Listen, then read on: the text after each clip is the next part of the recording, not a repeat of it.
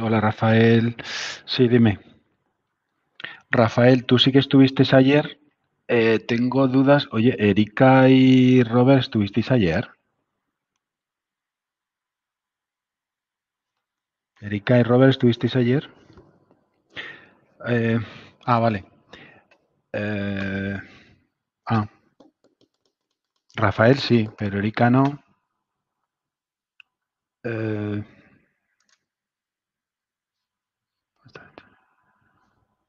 Con la cámara. Ah, sí, perdona, espera. Que la cámara no la he activado. Ya. Gracias por avisarme. Ya. Creo que ya está, ¿no? ¿Correcto? Sí, ya va, la cámara. Vale, perfecto. Gracias por el aviso. Que me habían avisado que no había puesto, que no me iba la cámara, pero ya me funciona la cámara otra vez. Vale, perfecto. Em, ostras, pues Erika, tenemos un problema, ¿eh? Grave. Eh, porque vamos a repasar un pelín lo que hicimos ayer, pero se necesitaba asistir ayer para seguir hoy. Y más que nada porque si no te vas a perder, claro. Eh, pero bueno, intenta atender lo máximo posible y luego a ver cómo podemos hacer. Eh, y en el caso de Robert, Robert, no me suena que, que estuvieras ayer porque no te tengo en la lista de los que dimos de alta en la plataforma para, para hacer cosas de IoT. Eh, ¿Tú estuviste ayer, Robert? Robert Núñez. Rafael sí, pero Robert. Eh, preguntaré dónde están las grabaciones, eh, Rafael, porque como yo soy, como yo no soy profesor titular de del más, bueno, de la máster en el que estáis puestos y eso, yo tampoco tengo acceso a las grabaciones. Entonces preguntaré a ver dónde nos las han dejado para poder consultarlas y por ahí, porque no tengo ni idea. Em, a mí me han dado los enlaces de conexión, me conecto eh, y le damos a grabar, pero ya preguntaremos dónde nos se ponen las, las grabaciones. ¿De acuerdo? Pues hoy en cuanto termine lo pregunto para que si queréis ver las grabaciones ya mañana lo que sea lo podamos hacer. Bueno, pues Rafael, o asustamos, o asusté ayer a tus compañeros, o, te acuerdas que terminamos la clase con a ver si os he asustado mucho y os habéis ido, pero bueno, Diego dijo que no, estaba bien, en tu caso también contestaste, vale. Em, no sé si Robert me oye o no. A ver, Erika, no sé cómo hacerlo, Erika, porque al no estar ayer, pues las probabilidades de que te pierdas mucho hoy son muchas, claro. Eh, excepto Alexander, que ya que sí que estuvo ayer. Vamos a dar eh, cinco minutos de, bueno, tres minutos más de, tres minutos más de margen, ¿de acuerdo? Para, tres minutos más de margen para, para que lleguen los compañeros. Vale. Pues dame tu correo, Erika.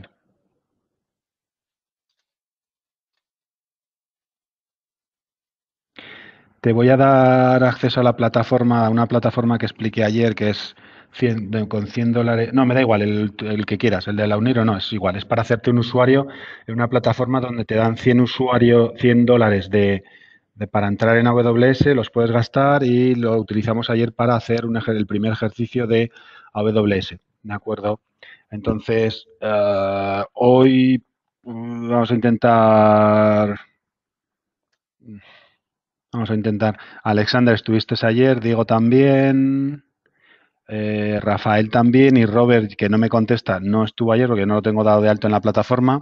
Y Erika, que tampoco estuvo ayer, que tampoco la tengo dado de alta en la plataforma. Por lo tanto, vamos a seguir. Eh, tengo una cuenta de WS con este correo. ¿Hay algún problema? no, no. Bueno, si quieres, puedes, a ver, si quieres puedes hacer la práctica con la cuenta de AWS. Entonces no te doy de alta en ningún sitio, Erika. No estamos gastando prácticamente nada, o sea, lo puedes hacer. Si tienes una cuenta de AWS, hazlo con la tuya. No hay ningún problema. Pasa que ayer daba por hecho que a lo mejor no tendría por qué haber toda gente con, w, con la cuenta de AWS. Pero si tienes una cuenta de AWS, hazlo con, con la cuenta de AWS que tengas y ya está. Eh, lo que estamos haciendo no prácticamente no gasta nada, no es nada de dinero, entonces no hay problema. ¿De acuerdo? Si fuéramos a montar un clúster de no sé qué y fueran y fuéramos a gastar los 100 dólares, te diría, pues hazlo con, hazlo con la cuenta que abrimos ayer, porque al final, pero bueno, ayer simplemente eh, levantamos una máquina que es gratis, un Cloud9, em, y lo demás fue de Internet de las Cosas y no hubo problema. Bueno, eh, pues entonces, atiende Erika lo que vayamos a hacer y, entonces a ver si nos consigue escoger. No sé si eh, Erika sabes lo que es un Cloud9 en AWS. Como tienes una cuenta de, de AWS, igual sabes lo que es Cloud9. Depende, lo que hayas trabajado con, Vale. Venga, pues entonces arrancamos, que si no se nos va a hacer, bueno, se nos va a hacer tarde eh, vale, y sobre todo para la gente que lo esté viendo esto, pues no va a estar aquí 10 minutos que no estamos... Bueno, entonces voy a compartir otra vez la pantalla como ayer porque necesitamos ver toda mi pantalla también, entonces ya lo tenemos por aquí, tengo el chat para que si me preguntáis cualquier cosa os pueda responder, ¿de acuerdo? Eh, o si os pregunto yo que vea la respuesta y ya está, ¿de acuerdo? Bueno, eh, por lo tanto, voy a salir de aquí, que estaba por si os tenía que dar de, alto de alta alguno más. Y los que estuvisteis ayer, entrar en la plataforma de Academy, ¿de acuerdo? Bueno, yo voy entrando para ir ganando ya algo de tiempo, ¿de acuerdo? Y ahora empezamos, repasamos un pelín y en este caso, Erika, si tú conoces la plataforma de AWS, entra en la plataforma de AWS y vamos a hacer un entorno de trabajo que se llama Cloud9 que hicimos ayer y a ver si desde de, ahí más o menos nos puede seguir. ¿De acuerdo? Entonces, nosotros la plataforma que con la que estamos trabajando es una que se llama Academy, AWS Academy, que nos dan 100 dólares para trabajar y con esto tenemos suficiente para ir tirando. Entonces, ayer lo que hicimos, ahora cuando me abra la consola, lo que hicimos fue ir a un servicio de Cloud9, levantar un entorno de Cloud9 con los Next, Next, Next, ¿vale? Y te levanta una máquina de Linux con un entorno de desarrollo. Y ahí lo utilizamos. Hoy lo vamos a volver a utilizar. Entonces, si lo vas levantando, eh, casi después nos, me vas, nos vas a poder seguir, ¿de acuerdo? Eh, los demás estáis por ahí ahí, Alexander, Diego, John, Rafael. Bueno, la, tengo, la duda la tengo en Robert, que ayer no estuvo y no me, responde. ¿De acuerdo? Entonces, igual Robert está por ahí eh, conectado, pero simplemente por, estar conectado, eh, porque no me oye ni nada. vale, entonces ya, a ver si me arranca el laboratorio, lo arranco, e ir abriendo, e ir abriendo el laboratorio de Academy y dos pestañas de AWS. Una pestaña con el Internet de las Cosas y otra pestaña con el Cloud9, ¿de acuerdo? Eh, vale, pues, y, eh, vale, eh, pues venga, ya me la acaba de abrir, creo, yo creo que ya lo tengo abierto. Abro. Entonces, mira, Erika, atiéndeme un momentito, que es muy fácil. Tú te vas a buscar un servicio que se llama Cloud9, ábrelo,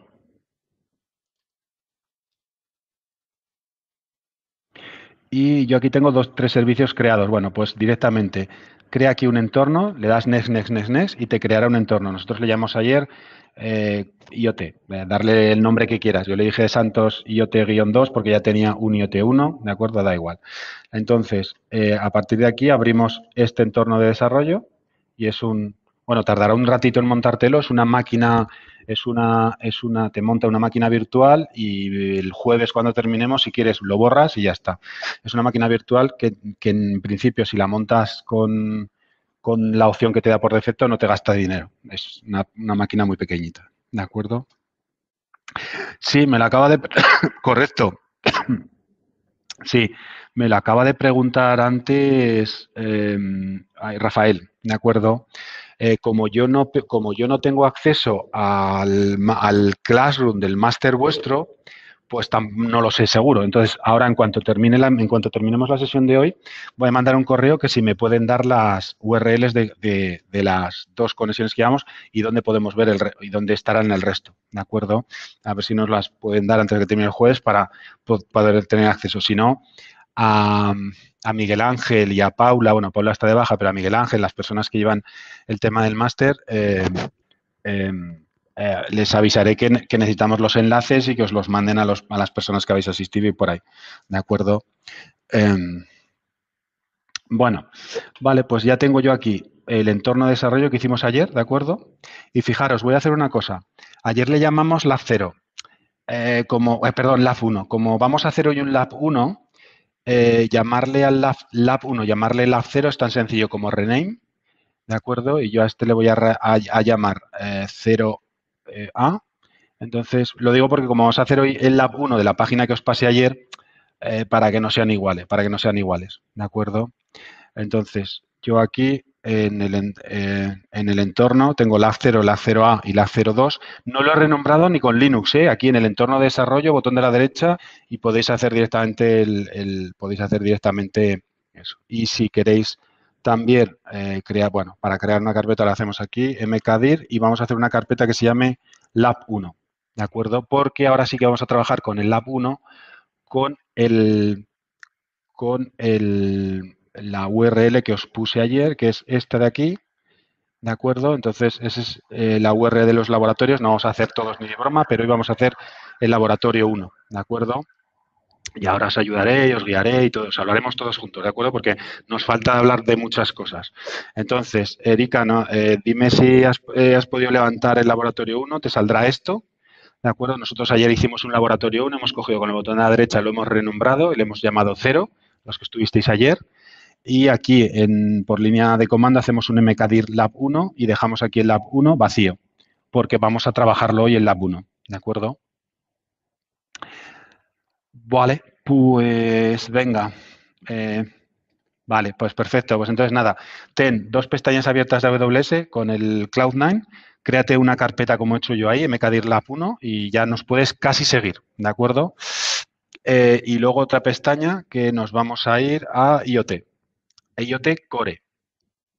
IoT Core, ¿de acuerdo? Bueno, y antes de arrancar esto, os dije ayer que más o menos todos los días haríamos algo de teoría. Entonces, claro, antes de arrancar el laboratorio, eh, lo vais abriendo y me vais atendiendo en algo de teoría, ¿de acuerdo? Y entonces haremos un ejercicio relativamente parecido al de ayer, pero ayer fue automático, es decir, no hicimos nada y empezamos a ver mensajes de eh, simples de, por MQTT que nos llegaban y podíamos responder al, al, al, al, dispositivo que creamos, a la cosa, bueno, aquí ya sabéis que en inglés es thing, a la cosa que creamos, en español suena un poco raro, vamos a decir dispositivo en lugar de cosa, ¿de acuerdo? Eh, le respondíamos, pero hicimos un una conexión automática, prácticamente automática. Hoy vamos a cambiar un poco eso y vamos a aprender alguna cosa más, ¿de acuerdo? Pero antes de eso, bueno, os he subido el, os he subido el pack de diapositivas, no os asustéis que son 152, no vamos a ver 152 diapositivas ni hoy ni, ni el otro día, pero he cambiado alguna cosa eh, y entonces, pues bueno, la he dejado ahí un poquito más decente las diapositivas, ¿de acuerdo? Entonces, simplemente por uh, con cosas, bueno, incluso he puesto una, es que ayer subí un fichero que no era el correcto. Lo que pasa que me di cuenta cuando os lo subí, ya era tarde, lo dije, lo dejé y os he subido más o menos el, correcto. Si hago, una, si hago alguna pequeña modificación hoy y mañana, pues lo haré, pero no. Bueno. Entonces, estamos en un seminario que vamos a denominarlo workshop porque vamos a intentar hacer tres laboratorios, bueno, cuatro laboratorios, uno por día por lo menos, y yo os dejaré más eh, laboratorios si queréis para hacer. Ya os explicaré cuál más podéis hacer. Eh, esto lo vimos ayer, bueno, en la, en la, agenda de Internet de las Cosas es un mundo, ¿de acuerdo? Vimos ayer los servicios core, pero cuidado, nos faltan servicios cores de ver, que ahora os lo explico, de servicios core de AWS. Y hoy vamos a ver un poquito, a empezar a ver servicios de AWS de Internet de las Cosas. El primero que veremos es el Core. Eh, y también vamos a hacer hands-on labs.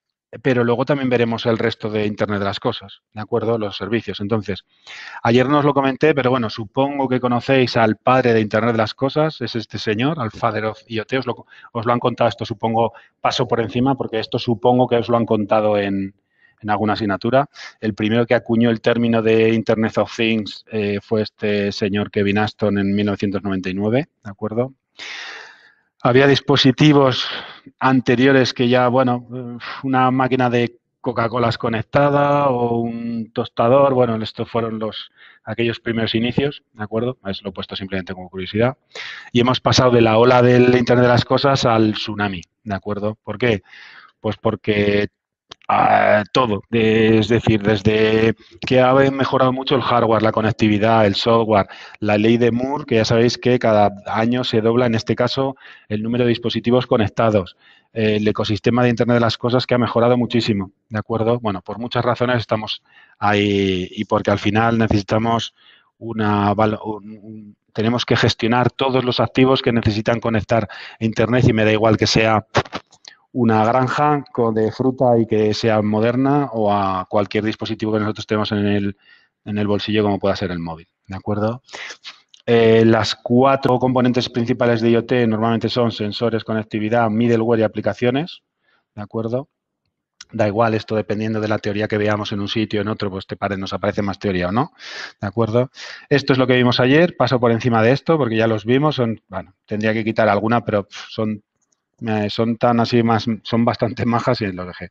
Vale, entonces, comentamos que al final eh, todos esos eh, dispositivos de Internet, cosas que hemos pasado ahí, que son tan chulos, una camiseta inteligente, una, una, luz inteligente, un sensor inteligente, todo, todo, todo lo que conocemos como Internet las cosas, realmente si se van a las nubes públicas, a las nubes de AWS, de Azure, de Azure, a la nube de Google, a la nube de Arduino, a la nube de IBM. Esta mañana, por ejemplo, bueno, buenas, buenos días, porque la mayoría estáis en Bolivia, en Ecuador, en Perú, como me contestéis ayer. No sé, Erika, desde dónde estás tú, no sé si estás en España o estás eh, también en Colombia o en alguna de estas cosas, ¿de acuerdo? Entonces, buenos días para casi todos y alguno buenas tardes. Bueno, pues esta mañana yo aquí en España estaba precisamente hablando con un con una persona y me dice, no, es que tenemos un cliente que trabaja con IBM, con la nube de IBM.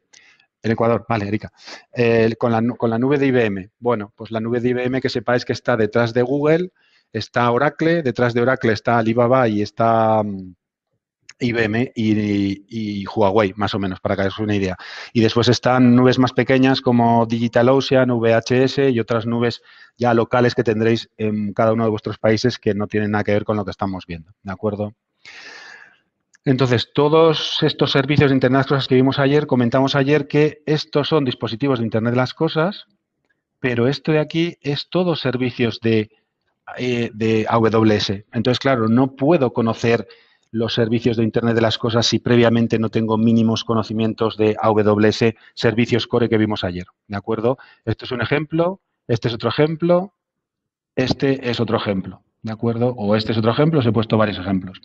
Entonces, ayer vimos eh, los servicios principales de Internet. Bueno, esta era teoría, pero recordamos que servicios de autenticación, nosotros no vamos a crear un usuario para conectar un dispositivo, sino que lo vamos a hacer con certificados. Ya lo hicimos ayer y lo vamos a volver a hacer. Me preguntasteis ayer, ¿se podría llegar a hacer? Validarse, pero no es lo normal, pero podríamos llegar a validarnos con un usuario en un dispositivo de Internet de las Cosas y ese dispositivo que mandase los, eh, los datos a la nube de AWS o a la nube de cualquier proveedor de, de nube pública con las cadenas de conexión de un usuario, pero no lo vamos a hacer.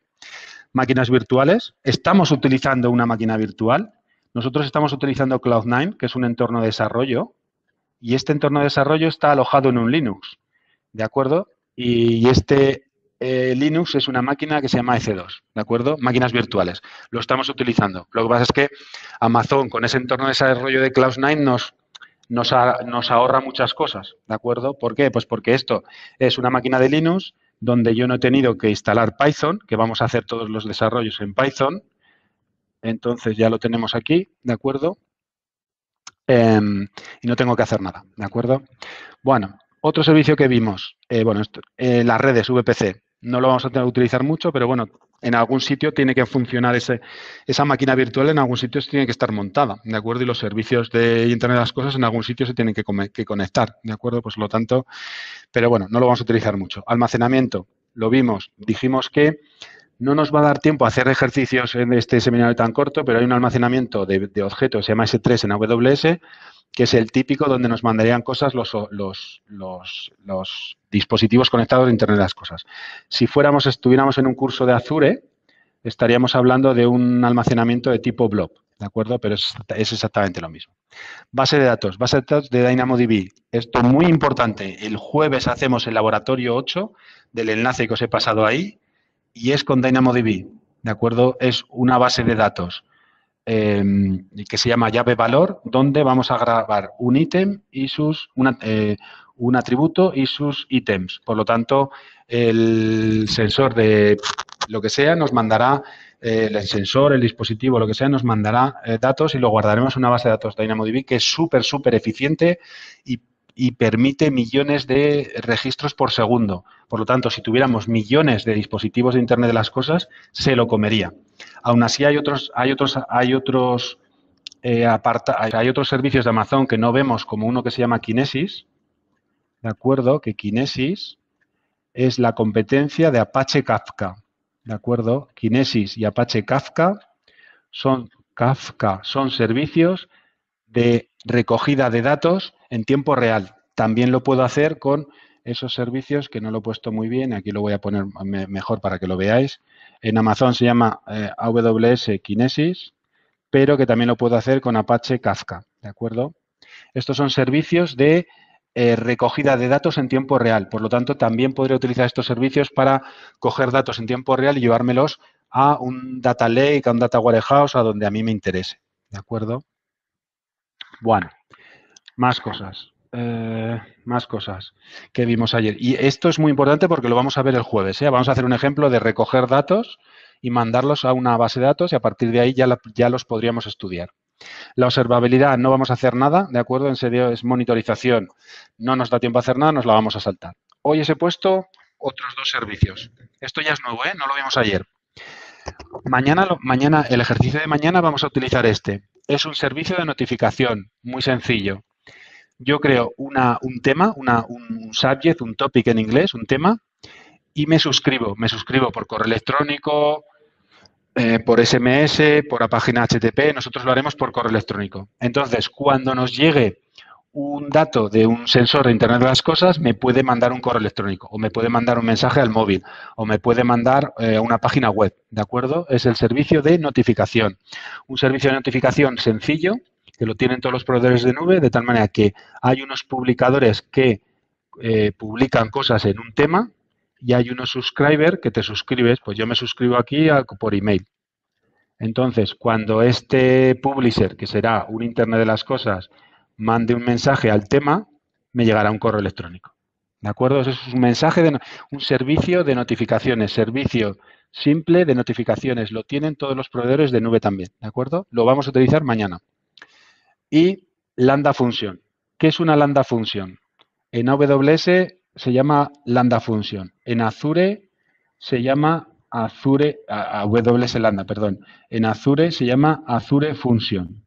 Esto es código serverless. Yo ejecuto código de estos lenguajes, pero no tengo ningún servidor detrás. Es decir, yo no tengo un servidor he instalado Node.js, yo no tengo un servidor e instalo Python, como tenemos ahora, el Cloud9 tiene Python instalado, yo no tengo un servidor y tengo Java, Cesar, no tengo nada, solo escribo código y ejecuto código. ¿De acuerdo? Entonces, este tipo de funciones de serverless que se llama, fijaros, son susceptibles de ejecutarse por evento. Es decir, aquí hay un sensor o un dispositivo, no digo sensor, siempre hablo de sensores, pero un dispositivo de Internet de las Cosas y hace de evento para disparar una función lambda. Y esta función lambda, que es código, hace lo que sea con un servicio. ¿De acuerdo? Por lo tanto, mañana eh, utilizaremos un código que no tenemos que escribir, que lo cogeremos en el laboratorio 2 de, una de SNS y función lambda. Nos vendrá un, eh, un, nos vendrá un dato de Internet de las Cosas. Ese dato de Internet de las Cosas es lo que se llama un evento fuente, un disparador. Ese disparador disparará un código y este código hará lo que sea. Meter el dato en una base de datos, meter el dato en, en un data lake, mete, coger el dato, imprimirlo por una impresora, mm, estudiar el dato y si no le gusta borrarlo. Lo que nosotros queramos haber desarrollado en una función. Una función que no tiene servidor detrás, es función serverless. ¿De acuerdo? Ahora estamos en un mundo serverless. Muchas cosas se lanzan y no hay a ver, hay una infraestructura de los proveedores de nube por detrás, pero no la controlamos nosotros, por eso le llamamos serverless. ¿De acuerdo? Bueno, pues esto no lo vimos ayer y lo veremos mañana. Eh, lo veremos mañana, el ejercicio de mañana, ¿de acuerdo? Pero ya os he dicho que cada día un poquito de teoría os tengo que contar, ¿de acuerdo? Entonces, ¿qué es lo que ocurre? Con los servicios de Internet de las Cosas de AWS, con los servicios core de Internet, bueno, servicios en general de AWS, puedo hacer soluciones de tal manera que yo tengo mis dispositivos de Internet de las Cosas de toda la vida, puedo tener plataformas mm, viejas, ¿de acuerdo? Robots, eh, robots o PLCs o cualquier cosa que yo tenga en una plataforma legacy de Internet de las Cosas y las puedo integrar con plataformas nuevas de nube, sea AWS o sea Azure, porque, cuidado, estamos haciendo el evento de AWS porque nos da la facilidad de programarlo con, eh, con esto, con el AWS Academy podemos, y todos podéis hacer eh, los laboratorios, pero si lo hiciéramos en, en, en Axure, en Azure, hubiéramos utilizado las cuentas de Azure for Students que supongo habéis levantado durante el curso, no lo sé, habéis levantado, os, os, dijeron que teníais eh, Azure for Students y teníais también 100 dólares en una cuenta de estudiante de Azure, este, ¿lo habéis utilizado durante alguna asignatura? Entiendo que sí, ¿de acuerdo? Porque en la, en la UNIR normalmente estamos intentando, ah, no, bueno, pues que lo sepáis. Eso simplemente lo podéis hacer por vuestra cuenta. Buscáis en Internet Azure for Students, utilizáis la cuenta de Comunidad Unir. Eso sí es importante. Comunidad Unir está dado de alta en el, en el, en el programa de Azure for Students. Entonces, cuando detecte vuestra cuenta de Comunidad Unir, os dirá, ¿quieres crear una cuenta de 12 meses y te doy 100 dólares? Sí, y tenéis más o menos lo mismo que yo os he dado con AWS eh, Academy, 100 dólares para gastar en, servicios de Azure y podríamos haber ido a Azure IoT, que es igual de potente que AWS, más, menos, o aquí ya hay discusiones, hay gente que dice, ah, pues mejor Azure, ah, mejor AWS. Da igual, yo no estoy a favor ni uno a otro, yo diría igual. Puedes hacer lo mismo en la nube de Azure que en la de, que en la de, que en la de AWS con Internet de las Cosas. Con las otras nubes, menos, ¿de acuerdo? Eh, a ver, perdona, que me has preguntado, Rafael, este, ¿en qué lenguaje se realizará este procesamiento de lambda? En, los que tenías aquí, en estos, ¿de acuerdo? Nosotros lo vamos a hacer en Python o en Node.js, o sea, Node.js es JavaScript, el lado del cliente, pero lo puedes escribir en cualquier lenguaje, ¿de acuerdo? Incluso aquí no hay PHP, se podría poner PHP eh, en lambda, es raro, pero se podría, ¿de acuerdo? Normalmente en los lenguajes que tienes ahí, que son los ahora los más habituales, ¿de acuerdo? Bueno, eh, pero ya os digo que no son los únicos. ¿eh? Eh, hay unas, unas layers que se llama, unas capas que se pueden agregar y podríamos utilizar más lenguajes para lanzar eso, ¿de acuerdo? Vale, entonces lo que está comentando, que al final, fijaros qué foto, esta foto.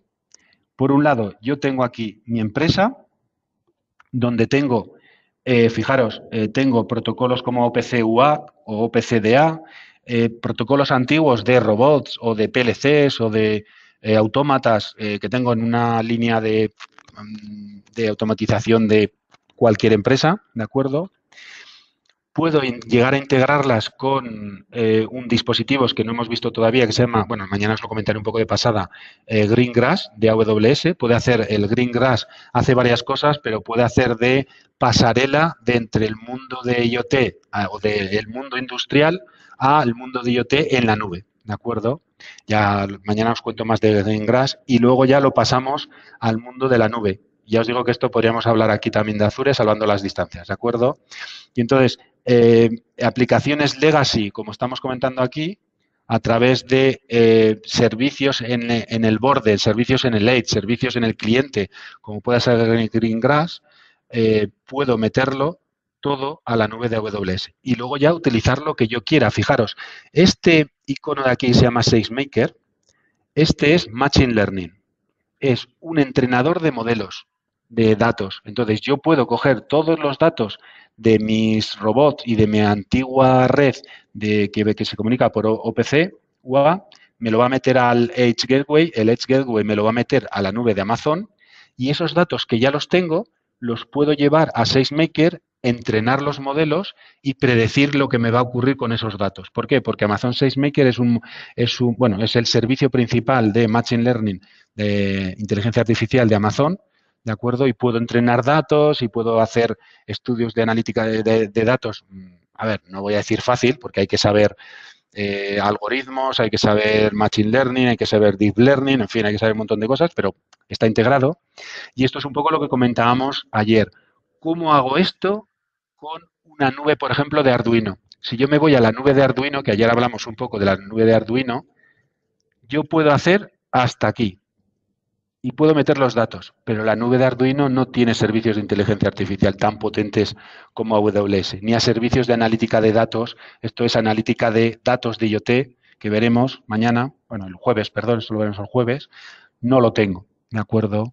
O no tengo, por ejemplo, una cosa que se llama Snowball, donde si yo aquí tengo, imaginaros, tengo 10 petas de información en ficheros que me he traído de estos robots y no los puedo mandar por Internet porque estoy aislado del mundo y no tengo conexión a Internet, meto esos 10 petas de información en, un dispositivo que se llama Snowball, que me lo provee Amazon, eh, Amazon se lleva ese Snowball y me mete los datos en un bucket de S3, como hemos hablado antes, y a partir de este bucket de S3 yo los puedo llevar a Machine Learning o los puedo llevar a, a que es un servicio de inteligencia artificial parecido a Power BI en Azure para estudiar los datos. ¿Cómo hago esto? En las nubes pequeñas. ¿Cómo hago esto en las nubes que no estamos hablando de AWS, de Azure o de Google? Pues mm, eh, parte de esto tiene IBM, parte de esto tiene Alibaba, parte de esto Oracle, sí, pero no son tan potentes, ¿de acuerdo? Entonces, en las nubes de Internet de las Cosas de Azure y de AWS se están llevando mucho mercado hoy en día de del, del legacy IoT que conocíamos, porque las nubes de los proveedores de nube pública han democratizado la tecnología. Fijaros, desde, diciembre del año pasado, nosotros podemos lanzar eh, trabajos cuánticos en la nube de Azure y la nube de AWS. Imaginaros que todavía no lo he visto, que aquí nos pusieran una nube, una cajita nueva, ¿de acuerdo? Y, y, hablasen aquí, por ejemplo, en AWS que se llama Bracket. Bracket es el servicio de computación cuántica de AWS. Y resulta que necesito pasarle un, job, un trabajo a un ordenador cuántico con millones de petas de información de mis robots para que me descubra lo que sea en el futuro. Hoy nos parece un poco extraño, pero eso llegará en breve, ¿de acuerdo? ¿Cómo hago eso? Si no puedo hacerlo en nubes que no son AWS y Azure, no entonces las nubes han democratizado y han eh, lo que se llama las, las escalas, las, las economías de escala masivas, en el sentido de que podemos hacer muchas cosas que antes no podíamos hacer porque estamos utilizando estas nubes públicas que nos proveen de em, servicios de Machine Learning, de analítica de datos, de computación cuántica, de Internet de las Cosas que, antes era imposible, ¿de acuerdo? Pero bueno, ya veremos cómo evoluciona todo el mundo. Sigue habiendo pues muchas empresas de Internet de las Cosas que siguen siendo punteras. Ya os lo comenté ayer aquí, tanto en España como en Ecuador, como en Perú, como en Bolivia, que tendréis vosotros de referencia. ¿De acuerdo? Y no quiere decir que sea 100% eh, IoT eh, la nube, ¿de acuerdo? Pero claro, el problema es que si tú migras tu plataforma de IoT o si, o si partes de cero y te vas a la nube, puedes eh, utilizar servicios asociados de, las, de esos proveedores de nube de valor incalculable, ¿de acuerdo? Cosa que en otros proveedores lo tengo más complicado, ¿de acuerdo? Pero bueno, esto lo comentamos también ayer y lo hemos comentado un poco, ¿de acuerdo?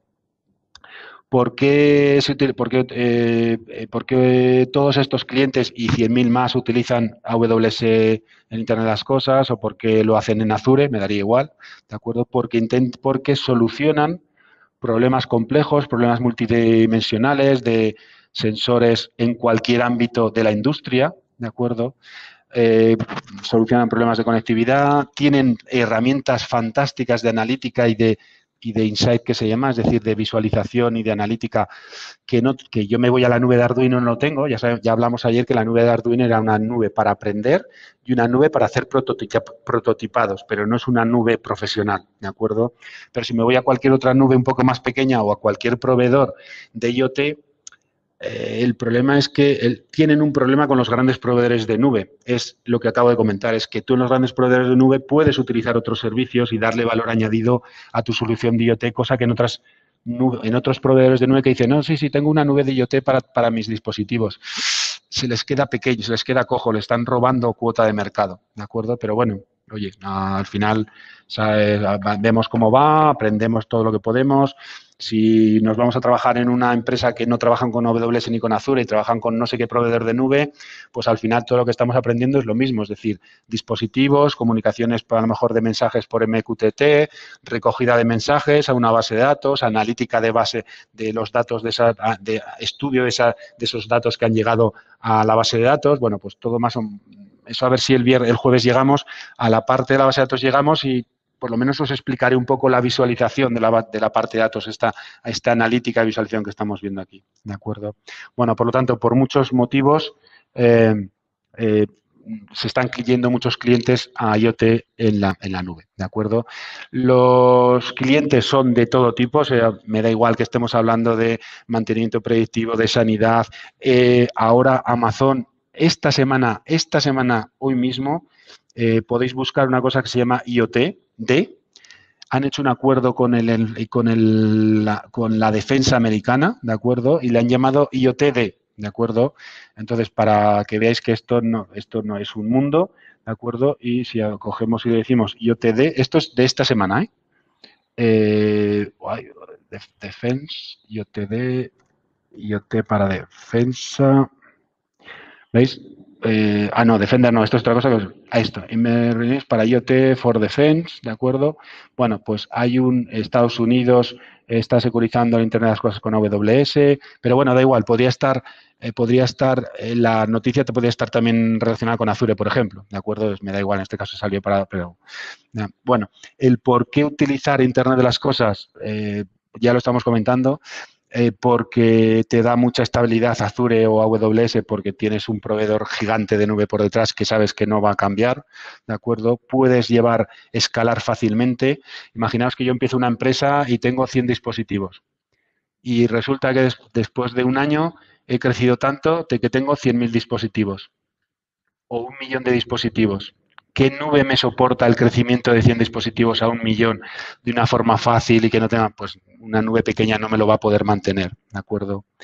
Puedo ahorrar dinero, pero esto cogérmelo con, con, esto cogerlo entre corchetes, la nube puedes ahorrar dinero y puedes perder dinero. Yo que hago cursos de, de nube, ahora estoy haciendo en España un curso de 250 horas de nube de AWS y hemos empezado de cero y vamos a terminar llevándolos a los que se han apuntado al curso a sacarse tres certificaciones de AWS de las grandes, si todo va bien. Eh, estoy cansado de repetirlo. Cuidado, que es, mucha gente se va a la nube y pierde dinero, ¿de acuerdo? Bueno, pues esto de, de save money, si haces las cosas bien, sí, pero si haces las cosas mal, puedes perder dinero. La seguridad que tienes en las nubes mm, es bestial, es mucha más la seguridad que tiene AWS o que tiene Azure que que tenga un proveedor de nube pequeña. Y la agilidad y toda la parte de innovación que tienen las nubes la puedes aprovechar rápidamente, como os acabo de decir, con el eh, servicio, por ejemplo, de computación cuántica, que hoy en día no conozco todavía un proyecto de Internet de las Cosas de AWS o de Azure con computación cuántica, pero es que desde hace muy poquito se han integrado. Vale, pues este círculo virtuoso lo vamos a ver muchas veces, ¿de acuerdo? Amazon y Azure, da igual, tienen los servicios catalogados en tres tipos de grupos, ¿de acuerdo? Una analítica de servicios, unos servicios de control y conectividad y de desarrollo, ¿de acuerdo? Azure las, los coloca de otra manera, pero bueno, más o menos. Entonces, nosotros vamos a estar, eh, hoy lo acabáis de ver este círculo virtuoso, ya no os voy a querer contar mucha más teoría porque ya os dije ayer que yo lo que quiero es que hagamos un workshop eminentemente práctico y no os quiero abrumar con teoría porque, mira, esto es mirar toda la teoría que queramos del mundo, pero sí que es verdad que yo eh, a partir de mañana os tengo que contar un poco todo esto. ¿De acuerdo? Los servicios. Y qué es FreeRTOS o qué es Greengrass, que lo hemos visto antes en un dibujo, o qué es Sitewise o qué es Internet de eh, eventos, ¿de acuerdo? Pero solo me quiero centrar en IoT Core, que es donde vamos a hacer nosotros los ejercicios. Tanto ayer utilizamos ya IoT Core, hoy lo vamos a volver a utilizar ¿de acuerdo? Y en IoT Core necesito contaros cosas. Por lo tanto, lo voy a dejar aquí. Hay muchas más diapositivas y ya las veremos mañana y el resto, ¿de acuerdo? Ah, bueno, hay algunas que ni las veremos, ¿eh? Pero eh, si estoy aquí en la diapositiva que me he quedado en la diapositiva 98, ¿de acuerdo? Lo veis aquí, que está aquí abajo, la 98. Mañana os enseño otras 20 o 30 y el jueves otras 20 o 30 y apaga, eh, cerramos el pack de diapositivas, pero eh, por lo que os digo, mm, sin agobiarnos, pero claro, algo de teoría os tengo que contar cada día, ¿de acuerdo? Entonces, dentro de ese círculo virtuoso, en, la parte de dispositivos, en AWS hay una parte que es fundamental, que es la que nosotros vamos a trabajar, que se llama IoT Core, ¿de acuerdo? Vale. Eh, vale, ahora si nosotros cogemos IoT Core, realmente aquí nos pone que es aquí IoT. AWS antes ponía la coletilla de IoT Core, le han quitado lo del Core porque parecía que, no, que eran pocas cosas. Bueno, IoT, la parte principal, aunque en la teoría sale como IoT Core, pues esto. Eh, llegamos ayer aquí, ¿de acuerdo? De aquí vamos, hoy vamos a necesitar varias cosas. El testeo de las colas de MQTT lo veremos luego. Ah, bueno, lo vimos ya ayer, lo decía sobre todo para Erika, eh, lo veremos luego y lo vimos también. Pero yo puedo hacer dispositivos, cosas, things, como queramos llamarlo, que ya, que ya hicimos ayer uno. ¿eh? Puedo hacer grupos de cosas, tipos de cosas, eh, métricas, bueno, ya lo veremos. Pero de aquí solo vamos a ver hoy lo de las things, que ya lo hicimos ayer.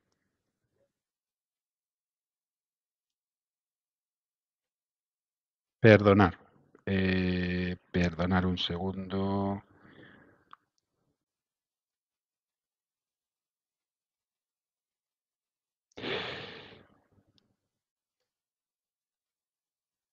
Oigo, mm, perdona, y lo vale, me recuperan, vale.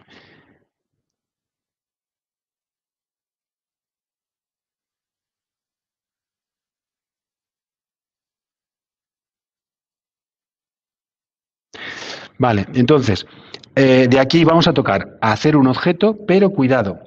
Ayer fue todo en automático y ayer no pasamos por los menús que os tengo que contar, ¿de acuerdo? Que son certificados y policies. Si os acordáis, ayer, eh, cuando hicimos lo que el ejercicio que hicimos ayer, no tocamos nada porque él automáticamente nos hacía todo. O sea, nos hacía un, nos hacía un, objeto, mm, dispositivo que luego al ejecutar ese dispositivo nos lanzaba todo lo automáticamente con un, con un programa ejecutable hecho en Linux y nos hacía el todo. Y él realmente sin hacer nada y sin saberlo nosotros vino por estos dos menús de certificados y policies, ¿de acuerdo? Eh, y lo configuró todo él. Hoy lo vamos a configurar nosotros. ¿Y esto qué es? Que nosotros necesitamos un dispositivo de Internet de las Cosas que tenga un certificado, lo vimos ayer, y que tenga una policy, una política. ¿Qué es una política? ¿Qué es lo que le quiero dejar hacer al, sensor de, o al dispositivo, digo siempre sensor, mejor dispositivo, cosa de Internet de las Cosas en la nube de Amazon? ¿Por qué? Pues porque los dispositivos de Internet de las Cosas pueden, hacer, tienen, pueden tener muchos privilegios.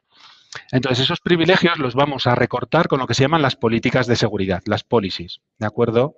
Estas políticas son lo que se llaman ficheros JSON ficheros de texto plano en un formato determinado. ¿De acuerdo? Esto depende de lo que sepáis de nube o de, programación. Bueno, pues los ficheros eh, JSON simplemente son ficheros manifiestos declarativos de políticas de lo que tú puedes hacer en una nube. Me da igual que sea AWS o me da igual que sea Azure. Entonces, si yo soy un usuario, Santos, y quiero acceder a, por ejemplo, a crear máquinas virtuales, a crear una máquina virtual que es el servicio EC2, ¿de acuerdo? Pues le tengo que decir a la nube de AWS, le tengo que decir en un fichero JSON, que esto no lo hemos visto, oye, Santos tiene, tiene permisos para utilizar EC2, ¿de acuerdo? Todos, todos los permisos de usuarios o de dispositivos, en este caso de Internet de las Cosas, tienen que tener un permiso dado.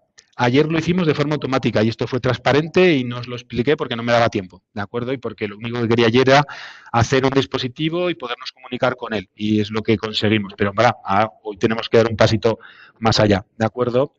Entonces vamos a estar jugando con cosas, con certificados y con policies.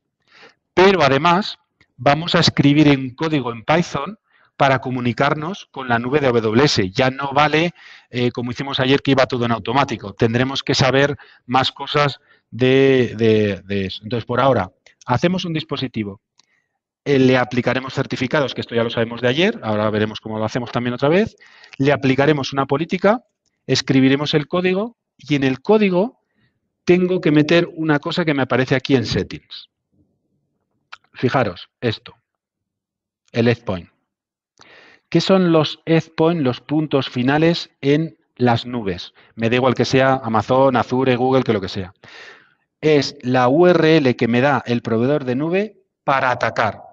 Es decir, ayer, ¿por qué eh, el, objeto que hicimos y mandamos de Internet de las Cosas se comunicaba con la nube de AWS? Hombre, por ciencia infusa no lo puede hacer. No es tan listo lo que hicimos. ¿Por qué? Porque en el código que nos hizo automáticamente AWS nos metió este parámetro dentro.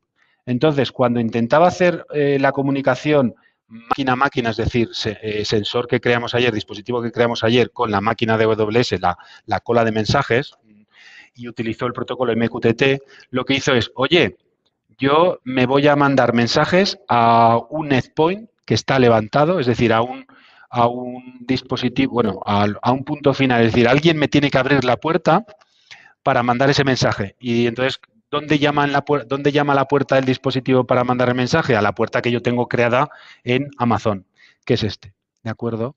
Y esto en Amazon va por región. Esto está en North Virginia. Podría tener un parámetro diferente. Este es el nombre de la región. Si os dais aquí cuenta, es North Virginia. Entonces, si yo monto un dispositivo de Internet de las Cosas en, Irlanda, en Europa, pues tendré un endpoint diferente. Puedo tener tantos como regiones, ¿de acuerdo? Pero como yo lo estamos desplegando en North Virginia, cuando despleguemos el dispositivo y lo configuremos, le vamos a decir, oye, pero cuando vayas a comunicarte y vayas a preguntar a Internet dónde mando los mensajes MQTT, llama a esta puerta de entrada, al endpoint. ¿De acuerdo? Veremos ahora dónde se escribe todo esto. Pero súper, súper importante, porque claro, eh, los, dispositivos de Internet de las Cosas en algún, sitio tienen que llamar, ¿de acuerdo? Y entonces, en AWS es este, pero en Azure sería exactamente igual. El concepto de endpoint, de punto final, es el mismo en todas las nubes. Yo voy a utilizar para entrar en la nube de AWS desde fuera, en este caso desde un dispositivo de Internet de las Cosas, que tenga conexión a Internet, claro, en este caso simulamos ese dispositivo, lo que vamos a hacer es llamar a la puerta y ¿qué puerta llamamos? A, al endpoint de AWS, en este caso de la región de North Virginia de, de, de eh, AWS, ¿de acuerdo? Ayer, ayer lo vimos y me preguntasteis, si yo tengo un dispositivo de Internet de las Cosas, un SP32 o una Raspberry o lo que sea, y yo aquí tengo un sensor de temperatura, lo que tengo que configurar es aquí el Wi-Fi, meto los certificados, y entonces, a través de la Wi-Fi, se va a preguntar al endpoint y decirle, oye, ¿me dejas pasar? ¿Tengo configurado esta, este Arduino, tengo configurado este Arduino como un objeto aquí? Sí, porque mira, te he pasado los certificados, has metido los certificados, has cogido la Wi-Fi en la que te encuentres, eh, has modificado el código de tu, de tu Arduino aquí dentro y en un momento determinado le has puesto el endpoint, esto de aquí es el endpoint, entonces, sí, llegas, pasas y me mandas los, me mandas los, em, los, me mandas los, em, la, el payload, la carga, lo que quieras por eh, MQTT, por mensaje simple, ¿de acuerdo? Por telemetría simple. Eh, ¿Se entiende lo que he dicho más o menos? Lo repito. ¿Queda claro? Es que esto lo necesitamos para hacer el ejercicio de hoy. Si no, no. Ayer nos lo conté porque para el de ayer no lo necesitábamos. ¿Queda más o menos claro? ¿Sí? ¿No? Vale, Emilio me dice que sí. Erika, te he perdido. ¿Estás por ahí todavía, Erika?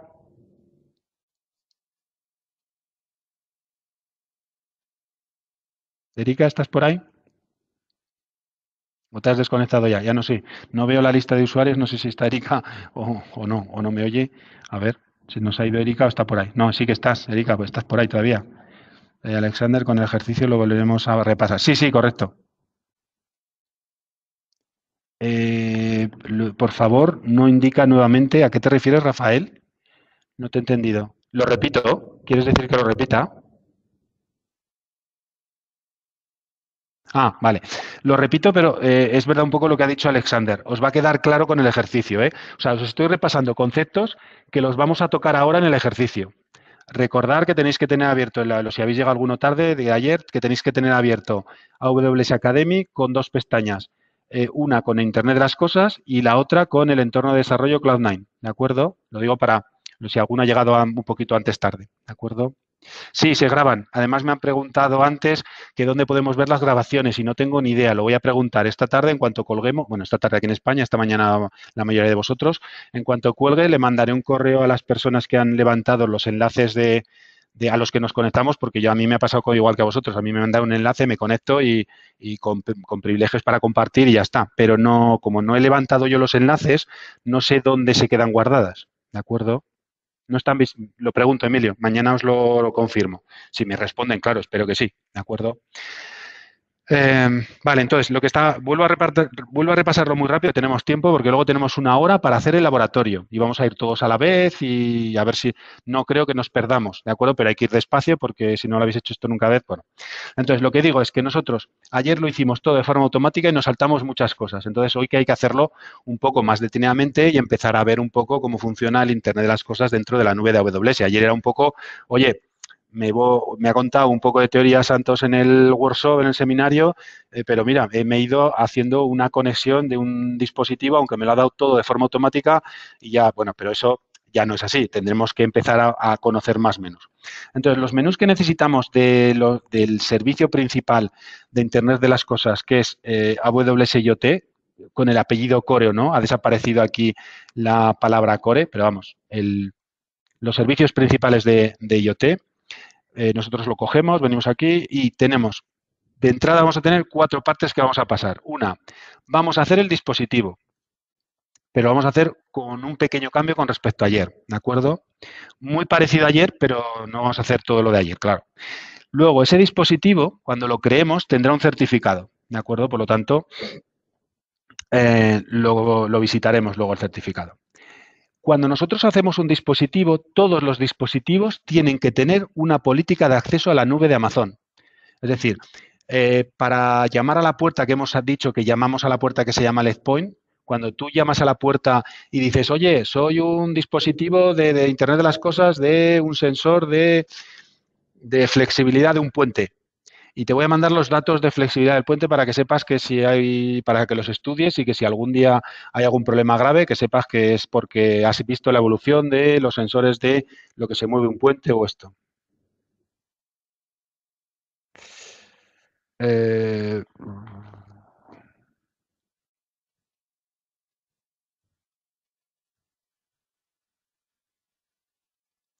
vale, entonces, eh, ayer lo hizo todo de forma automática, pero lo que os digo, para entrar a la nube de Amazon, tú puedes entrar llamando a la puerta que es el endpoint.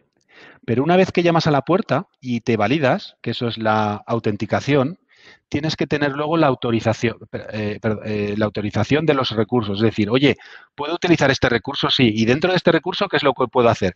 ¿Puedo mandar mensajes de MQTT o no? ¿Puedo recibirme, puedo, dejas que me envíen mensajes MQTT a mí o no? ¿Puedo borrar mensajes MQTT o no? Los permisos que tengamos dentro de, unas variables que ahora mismo no conocemos, ¿de acuerdo? Todo eso se hacen en ficheros JSON, que son ficheros manifiestos, que son texto plano, que lo vais a ver ahora, y nosotros lo vamos a modificar, ¿de acuerdo? Y se llaman políticas, policies, políticas. Pero esto no es propio de Internet de las cosas, esto es propio de las nubes, me da igual de la nube que sea y del servicio que sea. Si yo como usuario Santos quiero hacer una base de datos, tendré que tener un fichero JSON que me permita crear una base de datos y que me crea y que me, permita crear una tabla de una base de datos MySQL o lo que sea. Si no me dan permisos, no lo podré hacer. Entonces, en este caso, lo mismo. Para que el, el dispositivo que nosotros vamos a crear tenga permisos para mandar mensajes a una cola de MQTT, tengo que tener unos permisos configurados. Y entonces todo esto ayer se configuró solo, pero ya no se va a configurar solo. Hoy tenemos que aprender un pasito más. ¿De acuerdo? Más o menos, eh, hacemos el ejercicio que yo creo que os quedará más claro y si no, luego al final lo vuelvo a contar o lo que sea. Yo creo que haciendo el ejercicio os va a quedar más claro. ¿De acuerdo? Entonces, todo lo que os he contado realmente lo que vamos a hacerlo es en el laboratorio 1. Si volvéis al enlace de los laboratorios que ya os pasé ayer, que están en las diapositivas y que a la final de las diapositivas y que os lo vuelvo a pegar aquí una vez más, eh, aquí están todos los servicios de AWS. No podemos ver todos los servicios de AWS, ni mucho menos. Teóricamente sí, eh, cuidado. A partir de mañana, en dos días, en la parte teórica de mañana, en la parte teórica de pasado mañana, os termino de contar las diapositivas del pack de diapositivas que os he dado y os cuento todo esto. Teóricamente, pero prácticamente no podemos hacer todos los laboratorios, vamos, ni, ni, de broma. Vamos a intentar, intentar hacer el primero, el segundo y el octavo, porque es más fácil hacer esos que hacer el de, por ejemplo, el tercero, ¿de acuerdo? Estaría bien, si tuviéramos un curso de 40 horas, intentaríamos hacer, por supuesto, el 1, 2, 3, 5, 6 y 8, que no sabemos dónde se ha quedado el 7 y por ahí, ¿de acuerdo? No sé si están por aquí los, no sé por qué llevan esa numeración ahí o por qué han puesto, ¿veis? Tienen, tienen numeraciones un poco raras, pero bueno, nos da igual.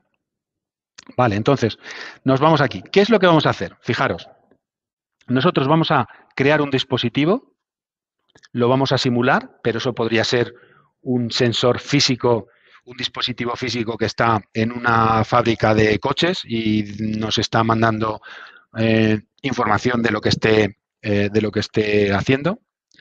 Nos va, a nos, va nos va a mandar mensajes a una cola MQTT, que en este caso la cola se va a llamar IoT, dentro de los servicios de IoT Core, ¿de acuerdo? Y que yo lo podré testear desde el cliente de test de MQTT. Es decir, prácticamente lo que hicimos ayer, pero lo vamos a aprender a configurar todo, porque además vamos a escribir el código en Python. No os preocupéis, no hay que saber Python. ¿De acuerdo? Yo de Python sé un poquito, no sé mucho. ¿De acuerdo? No tenemos por qué ser especialistas en desarrollo. No se os ha pedido venir al workshop. Oye, y además que sepáis Python nos lo dan, nos lo dan aquí, ¿de acuerdo? Entonces es muy parecido, muy parecido a lo que hicimos ayer, pero lo vamos a configurar todo, no de forma automática. Entonces, fijaros, eh, si siguiésemos el asistente, que ahora lo voy a hacer, fijaros que es lo mismo que hicimos ayer, Linux Python, y registramos el dispositivo. Vale, aquí le va a llamar Racket, el dispositivo, un engranaje, una especie de tipo de engranaje o algo así, traducido al del español al inglés, una especie de engranaje o algo así, no es exactamente la traducción interna. Pero esto es justamente lo que hicimos ayer, ¿eh? Mm, pero ayer hicimos ya hasta aquí, hasta aquí vamos a hacer lo mismo que ayer. Nos vamos a bajar el fichero, eh, le vamos a dar aquí bajarlo y ya está. Pero claro, ya no vamos a hacer lo que hicimos ayer, vamos a hacer otra cosa. ¿De acuerdo? Vale, pues entonces, eh, lo hacemos, lo vamos haciendo todos a la vez, ¿de acuerdo? Me voy a Internet de las cosas, me voy a conectar. Aquí en el menú de la izquierda, conectar. Le doy al botón Connect Device. Eh, como yo tengo ya un dispositivo, creo, espera un segundín, y ya tengo uno que se llama Ratchet, yo le voy a llamar de otra manera, ¿de acuerdo? Vosotros ya, eh, vosotros llamarle igual que el laboratorio. Si el laboratorio le llama, creo que le llama Ratchet, eh, creo. ¿Cómo la llamamos al final? Eh, Ratchet, sí. A ver, eh, traductor, es que, eh, ¿cómo, se, ¿cómo traduciríamos el Ratchet? Trinquete, bueno, como queréis llamarlo. Si le decimos Ratchet o, bueno, yo os he dicho antes engranaje, pero pone trinquete, bueno, como queréis llamarlo, ¿de acuerdo? Como yo ya tengo uno que ya lo he hecho en otras demos, le voy a llamar diferente, pero vosotros llamarle Ratchet, ¿de acuerdo? Entonces, le decimos conectar, conectar dispositivo, empezamos, Linux, Python, igual que ayer, para simular este dispositivo, porque no, no podemos hacer el ejercicio de otra forma. Le voy a decir, yo le voy a decir ratchet eh, unir para saber qué es el vuestro, ¿de acuerdo? Eh, como es mayúsculas, minúsculas, va a decir todo minúsculas por si acaso. Y esto es lo mismo que hicimos ayer, si os acordáis. ¿De acuerdo? Me bajo el kit. Ya me lo he bajado. ¿De acuerdo? Vale. Pues entonces, fijaros que aquí os dice, oye, baja, registra el dispositivo y bájate, y bájate el kit, ¿de acuerdo? Vale, pues estamos en el paso, hemos hecho el 1, 2 y 3 súper rápido porque es lo mismo que hicimos ayer. ¿De acuerdo? Vale, aquí no nos lo dice, pero ya vamos a aprovechar y vamos a subir el, lo que hemos sacado, lo vamos a subir al laboratorio 1. Acordaros, eh, Erika, esto atiéndeme, pero es muy fácil, es, yo vengo aquí, ficheros, subo un fichero que lo he grabado en mi, en mi Mac, en mi PC, en mi Linux, que es este, y ya lo tengo. Ya lo tengo aquí metido, ¿de acuerdo? Si le hago un ls, perdón, entro en el lab 1, ya lo tengo. ¿De acuerdo? Y lo que voy a hacer es un zipear este, este fichero y ya lo tengo. ¿De acuerdo? Veis que me lo ha descomprimido, ya lo tengo. Incluso este ya lo podré aquí con el botón de la derecha borrar porque no me sirve ya para nada. ¿Por qué? Porque me lo ha descomprimido. ¿De acuerdo? Lo borro. Bueno, entonces, ayer lo que hicimos fue lanzar este start. ¿De acuerdo? No lo lancéis, porque si no estaríamos repitiendo lo de ayer. Fijaros que lo único que hemos hecho es, lo único que hemos hecho es eh, generar un dispositivo y que nos cree los certificados de forma automática. ¿De acuerdo? Y voy a hacer una cosa más. Del laboratorio de ayer, del laboratorio de ayer, nos creó un fichero que se llamaba rootca. Voy a copiarlo y lo pego aquí. Bueno, ¿qué es esto? Para poder funcionar los dispositivos de Internet de las Cosas en Amazon, necesita eh, necesita cuatro certificados, ¿de acuerdo? Eh, este último certificado, Erika no lo va a tener porque no hizo el ejercicio de ayer, ¿de acuerdo? Entonces, para pasártelo, Erika, ¿cómo te lo paso? No te lo puedo pasar. Eh, espera, que te lo puedo pasar de otra manera. GitHub. A ver. Jolín. Eh. Es, esperar un segundín, que claro, esto lo tenemos de ayer porque no tuvimos problemas, pero en el caso de Erika, que no lo tiene, eh.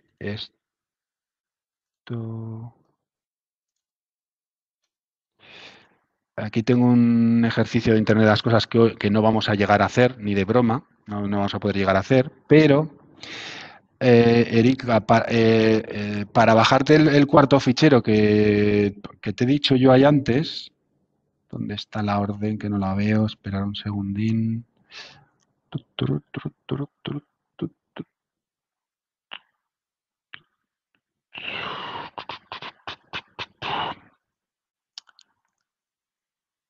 Uh, jopetas, que no lo veo. Vale. Eh, no, este no. Uh, pensaba que lo tenía aquí, pero no lo tengo. Me cachis la mar. Eh, ah, sí, sí, sí, sí, es este, es este, es esta instrucción. Vale. Esta instrucción que os voy a pegar aquí, cuidado, ¿eh? cuidado, esta instrucción que os acabo de pegar aquí, que habría que pegarla toda junta, solo la tendría que pegar Erika, ¿de acuerdo? Si yo aquí cojo y la pego, eh, perdón, aquí, ¿qué es lo que me va a hacer? Me va a dejar en EC2, perdón, esperaré, eh, environment lab, 1, cuidado, eh, eh, no, no, peguéis, no peguéis exactamente el mismo porque lo he cogido de internet, y ahora os explico qué estoy haciendo. Si yo cojo esto, eh, ah, hoy va. ¿Por qué no me lo baja? Sí, ya lo sé que es un directorio.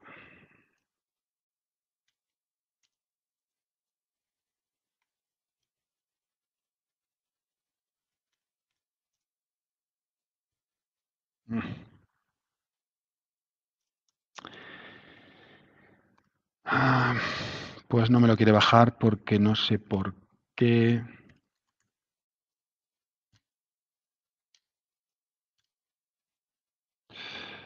Uh,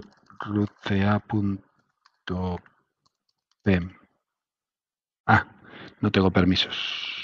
Vale. Pues entonces ahí root ca.pem. Vale. Eh, lo último que acabo de hacer. Esto solo para Erika. te debería de funcionar esto, Erika. Para bajarte el certificado. ¿De acuerdo? Tú dale un... Bueno, vale, bájate, ese certificado. Bueno. Eh, ¿Qué es lo que ocurre? Os lo explico para, para, para, que, para todos los demás. Cuando yo vaya a hacer funcionar un, un dispositivo de Internet de las Cosas, Uh, este A, este lo borro, a esperar, este lo borro y este lo borro.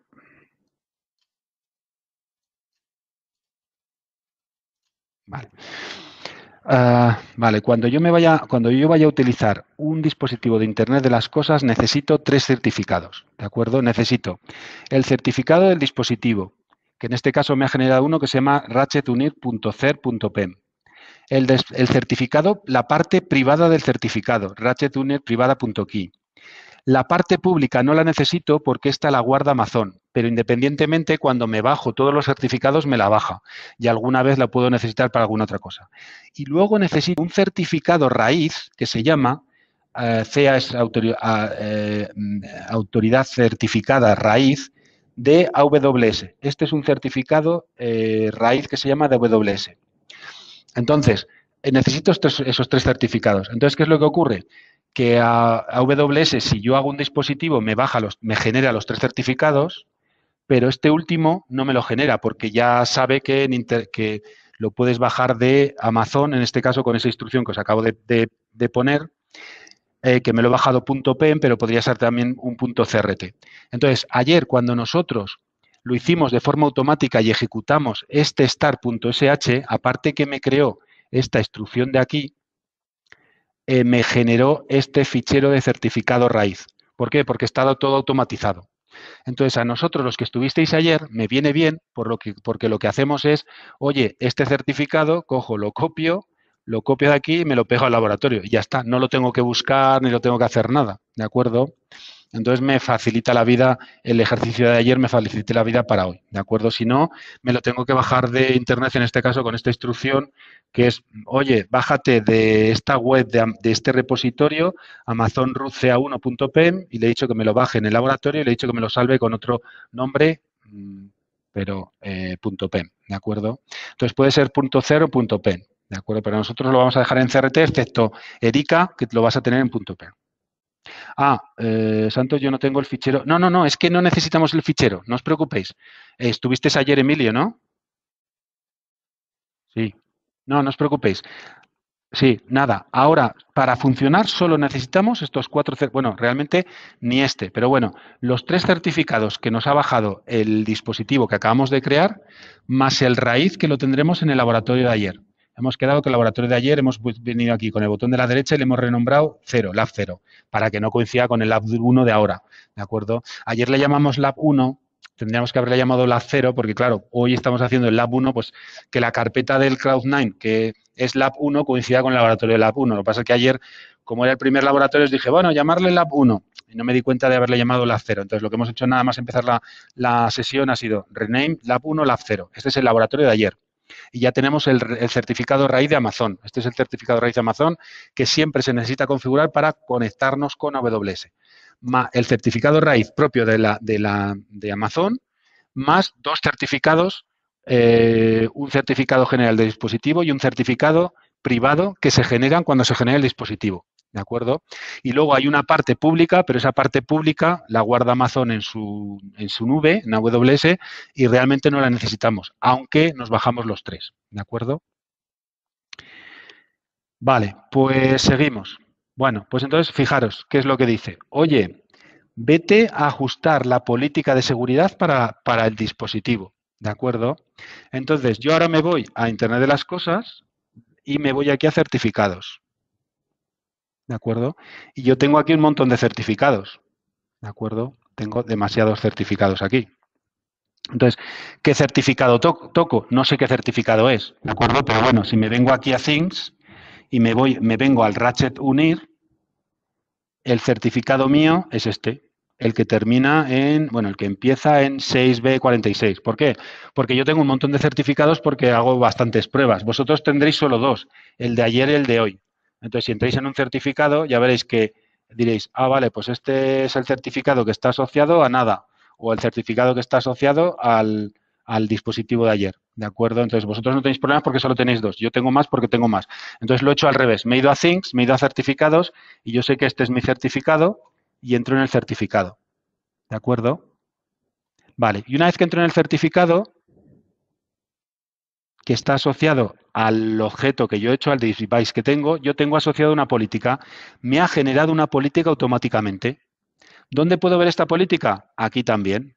¿De acuerdo? Si yo me voy a políticas, vería la política asociada a este dispositivo. Y hemos quedado que la política es darle permisos a este dispositivo para hacer lo que sea en Amazon. Por un lado, necesito eh, autenticarme y lo hago con los certificados. Y por otro lado, necesito autorización para poder hacer ciertas acciones. ¿De acuerdo? Por lo tanto, yo entro aquí y entro en el Ratchet 1 Policy, la política del Ratchet Unir que yo he creado. ¿De acuerdo? Y lo tengo aquí. Vale, esta política por defecto, voy aquí al fichero JSON y tengo todo esto. Tengo un fichero súper grande. Este es el fichero JSON que os comentaba antes, que es lo que me deja hacer y lo que no me deja hacer este dispositivo. ¿De acuerdo? Entonces, tampoco hay que agobiarse de este fichero porque no nos da tiempo a entenderlo mucho. Pero fijaros, ¿qué es lo que me está dejando? En este fichero me permite el qué? Publicar y recibir mensajes de, eh, de eh, MQTT. Publicar, recibir, retener, ¿de acuerdo? Vale, pero lo vamos a cambiar el fichero. ¿Por qué? Bueno, porque vamos a seguir el laboratorio tal cual, ¿de acuerdo? Entonces, cuando yo entro en la política, me dice, oye, borra lo que tienes en el fichero y por favor, copia y pega. Aquí tengo a la derecha un botón que pone copiar, pues copio, me voy al fichero, lo borro todo y pego lo que me ha dicho el laboratorio. ¿De acuerdo? Si bien es verdad, nos hubiera funcionado igual el ejercicio sin pegar, pero bueno, ahí va, eh, que no, eh, perdón, perdón. Antes de pegar, por supuesto, tengo que editar la versión. O sea, no puedo pegar alegremente, perdón. Edito la versión, y ahora, en el fichero JSON, sí ya es editable y entonces lo quito, lo borro todo y pego lo que me dice el laboratorio. Esto, ¿de acuerdo? Si lo pego correctamente, pues simplemente salvo como nueva versión y muy importante, me voy abajo y fijaros, la nueva versión que acabo de hacer está inactiva, no funcionaría tengo que marcarla aquí y decirle, oye, esta es como activa. Es decir, la política que te acabo de escribir es la que yo quiero. ¿De acuerdo? Entonces, la política que me permite publicar mensajes, cualquier mensaje, a cualquier, perdón, a cualquier recurso, me pide suscribir, me pide, me puedo conectar y puedo recibir. ¿De acuerdo? Por lo tanto, lo vuelvo a repetir. Pero vamos, he seguido, he seguido el laboratorio, ¿eh? he seguido el laboratorio este. ¿De acuerdo? ¿Qué es lo que he hecho? me he ido a,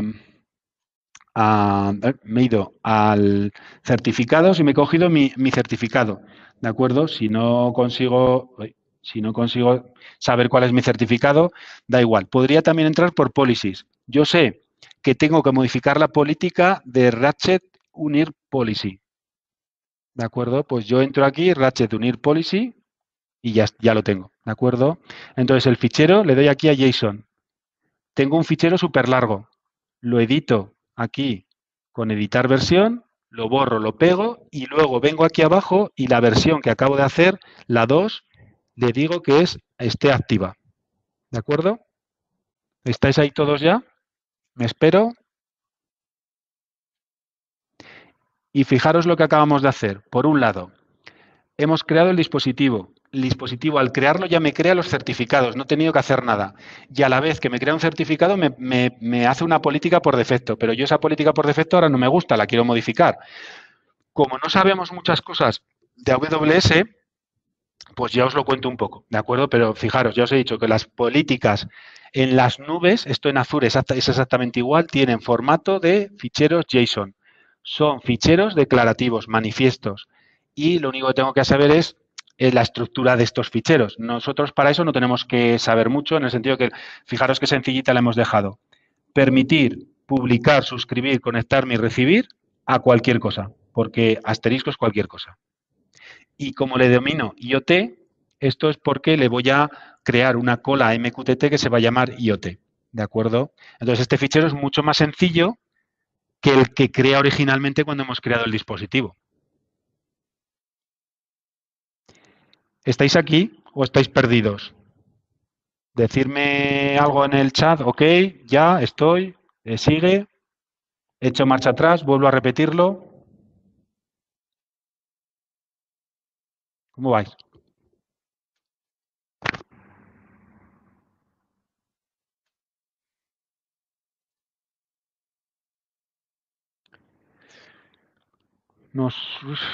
O, me o estáis, estáis perdidos, o estáis haciéndolo, o estáis desconectados, os habéis ido a casa a tomar... Ah, vale, espera, no, si el del cuidado en el cloud, aunque no entiendo, no, espera, espera, es que en el Cloud9, en el Cloud9 no os preocupéis, vuelvo al Cloud9. Al Cloud9 lo único que hemos hecho es, ha sido una carpeta y hemos subido los tres certificados. Ahora cuando terminemos entenderás por qué, es que vamos a simular el dispositivo desde un Linux, esto es un Linux, y entonces vamos a ejecutar un programa en Python que simule un dispositivo, que podría ser un dispositivo con un Linux embebido, un dispositivo con un FreeRTOS, con un software que se llama FreeRTOS, que no sabemos lo que es, que mañana os lo cuento, embebido. Es decir, el, el Cloud9 es un Linux, eh, con el Linux vamos a simular el dispositivo, ¿de acuerdo? Lo que pasa es que el entorno de Cloud9 nos ayuda a no tener que saber mucho Linux. ¿Por qué? Pues porque yo me hago una carpeta, subo los ficheros y los tengo ya aquí sin hacer nada. Y entonces, para copiar este root CA de esta carpeta a esta carpeta, lo puedo hacer con el entorno de Cloud9. De, la otra manera, tendría que hacerlo con un, CP, esta ruta, o sea, tendría que haber hecho un CP de la ruta origen, a la ruta destino para copiar un fichero. Y entonces todo esto se me complicaría mucho más porque no tenéis, yo no sé si sabéis Linux, ¿de acuerdo? Entonces es mucho más cómodo hacer los ejercicios que vamos a hacer hoy, mañana y pasado con Cloud9 que eh, con tu PC. Y, además porque así todos tenemos la misma plataforma y no os daría ningún error. Porque si intentamos hacer esto con mi PC que tengo un Windows 10, tú tienes un Windows 11, el otro tiene un Linux y el otro tiene un, Mac, eso empezaría a lo mejor algún error y os diría, ostras, pues no sé lo que se está no, no sé lo que tenéis en pantalla ahora mismo de error en vuestro Mac, si tenéis un Mac haciendo el ejercicio. Entonces, Cloud9 es simplemente un entorno que nos ayuda a hacer los laboratorios, es un entorno de desarrollo, pero tened en cuenta que es un Linux y es un Linux que tiene instalado Python y lo que vamos a simular es un dispositivo hecho con Python. Alexander, más o menos. ¿Te ha aclarado algo, Alexander? Espera que todavía tenemos... Sí, espera, eh, ahora cuando terminemos lo vas a entender. ¿eh? Espera un momentito, ahora lo terminamos de entender. Vale, pues venga, eh, si tenéis esto hecho ya nos queda poquito, ¿de acuerdo? Vale, pues ya tengo la política, ya estamos en el paso 5, ¿de acuerdo? ¿Qué vamos a hacer ahora en el último paso? Pues el paso 6 ya no lo tenemos que hacer porque lo hemos hecho antes. Hemos copiado los dispositivos, los certificados a nuestro Cloud9, ya lo hemos hecho. Y ahora te dice, testea tu dispositivo. ¿Cómo testeo mi dispositivo? Muy fácil. Tengo aquí el código. Lo que voy a hacer es copiar este código aquí y llevármelo a Cloud9. Para esto, ¿cómo lo hago? Yo le doy aquí al botón copiar. Le doy copiar. Me voy a Cloud9. En la carpeta lab1 hago fichero, nuevo fichero. Y pego lo que, lo que he pegado. ¿De acuerdo? Me he llevado todo el fichero. Y ahora le digo salvar como y lo salvo en el laboratorio 1 con ratchet, en mi caso, unir.py. PY de Python. Lo salvo y veis que ya me cambia los colores, porque ya me detecta, como estamos en un entorno de desarrollo, ya me cambia los colorines, ¿de acuerdo? Lo único que he hecho es que lo que vamos a hacer ahora es un código, vamos a hacer un código para eh, este código eh, simular el dispositivo, ¿de acuerdo? Ahora, para nosotros, Cloud9, que es un Linux con este código, es un dispositivo de Internet de las Cosas, ¿de acuerdo? Por lo tanto, lo único que he hecho es del laboratorio, me cojo el código, me voy a Cloud9, hago, me marco que estoy en el laboratorio 1, hago un fichero nuevo, ay, perdón, hago un fichero nuevo, pego aquí el código y cuando le doy a salvar como, lo salvo con el nombre de ratchet.py. ¿De acuerdo? Yo he puesto ratchet unir porque tengo ya un ratchet, ¿de acuerdo? y automáticamente, fijaros, yo tengo el fichero aquí y el código aquí. ¿De acuerdo? Entonces, con este Linux y con este código en Python, voy a simular que esto es un dispositivo que está en el campo, que tiene una Wi-Fi, que bueno, tiene una conexión satélite, un LoRaWAN, una conexión WiMAX, una conexión LoRaWAN y está conectado a AWS y me va a mandar datos. Eh, nos falta todavía terminar de configurar eso. ¿Estamos aquí todos? ¿Estáis todos aquí? ¿Sí? ¿No? ¿Tenéis el código ya en un fichero .py, dentro del Cloud9? ¿Estáis ahí?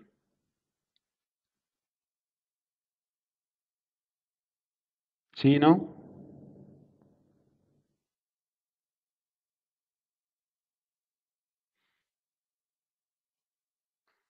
Si me ponéis que sí, sigo. ¿O cómo vais? Es que no sé si estáis alguno, si estáis algún, si estáis todos ya perdidos, si no, he intentado ir despacio, pero eh, a lo mejor perdidos. Vale, pues ¿dónde? Que vuelvo para atrás. ¿Perdidos en la inmensidad del océano de AWS o perdidos en una pantalla especial? Vale, venga, pues lo vuelvo a contar. Fijaros, eh, lo podéis hacer con otro nombre, ¿de acuerdo? Sí, sí, sí, no hay problema, correcto, Emilio. Sí, correcto, sí, tienes toda la razón del mundo. ¿De acuerdo? Podéis echar en el vídeo para adelante, para atrás, no sé qué. Y además, cuidado, ¿eh? Fijaros, que yo estoy siguiendo con ligeras diferencias, pero muy poco, estoy siguiendo este laboratorio, ¿eh? estoy haciendo exactamente lo mismo. O sea, que una vez que tengáis un poquito de tiempo, si queréis luego eh, que estáis todos por la mañana y os apetece hacerlo, es casi seguir esto, ¿eh? Con alguna, claro, lo que pasa es que cuando os atascáis en un momento en un sitio determinado, hay que ahora prestar atención a lo que voy a hacer, porque este código hay que modificarlo. Este código no es perfecto, y hay que, que, hay que cambiarlo en algún sitio, ¿de acuerdo? Pero por repasar también por... Eh, por vale, eh, repaso un poco muy rápido para John y para todos y termino de hacer el ejercicio eh, y ya terminaremos la sesión y entonces lo que es correcto lo que decís. Tenéis por un lado el laboratorio, tenéis por otro lado que no, las grabaciones, que las voy a pedir esta noche para ver si me las pueden dar, para que lo podáis ver luego en el futuro cuando queráis, ¿de acuerdo? Vale, entonces lo que estaba comentando es, que lo que hemos hecho es, hemos hecho un dispositivo. Nos vamos, a, nos vamos aquí a, a conectar, hacemos un dispositivo nuevo, nos, mm, le he llamado Ratchet Unir, y entonces lo que vamos a hacer es simular un dispositivo desde una máquina Linux y con un lenguaje de programación Python. Eso lo, lo, elegimos así porque nuestro entorno de desarrollo de Cloud9 es un Linux con instalado un Python. ¿De acuerdo? Por lo tanto, por eso hemos elegido eso. Pero si yo tuviese un Windows con un Python instalado, como os enseñé ayer, lo podríamos simular en un Windows. Pero como cada Windows es de su padre su madre, no sé si lo tendréis instalado el Python, no sé qué, ya os he dicho que me curo en salud y lo hacemos todos desde la plataforma Cloud9. ¿De acuerdo? Entonces, yo he hecho el dispositivo. Cuando yo he hecho ese dispositivo, eh, que le doy el nombre de Ratchet Unir, Unir 2,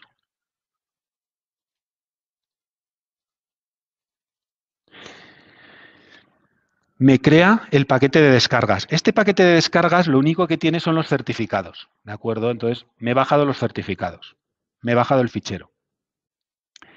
Eh, cuando me he bajado el fichero, yo ese fichero lo he subido a una carpeta que se llama lab1 y cuando lo he subido, por línea de comando, hecho, aquí estaba que lo he borrado antes, pero he hecho un, zip del fichero .zip. Y cuando he hecho el unzip me ha descomprimido los certificados del dispositivo. Y además he comentado que necesito un certificado raíz, que es el RUCA, que lo copio del ejercicio de ayer.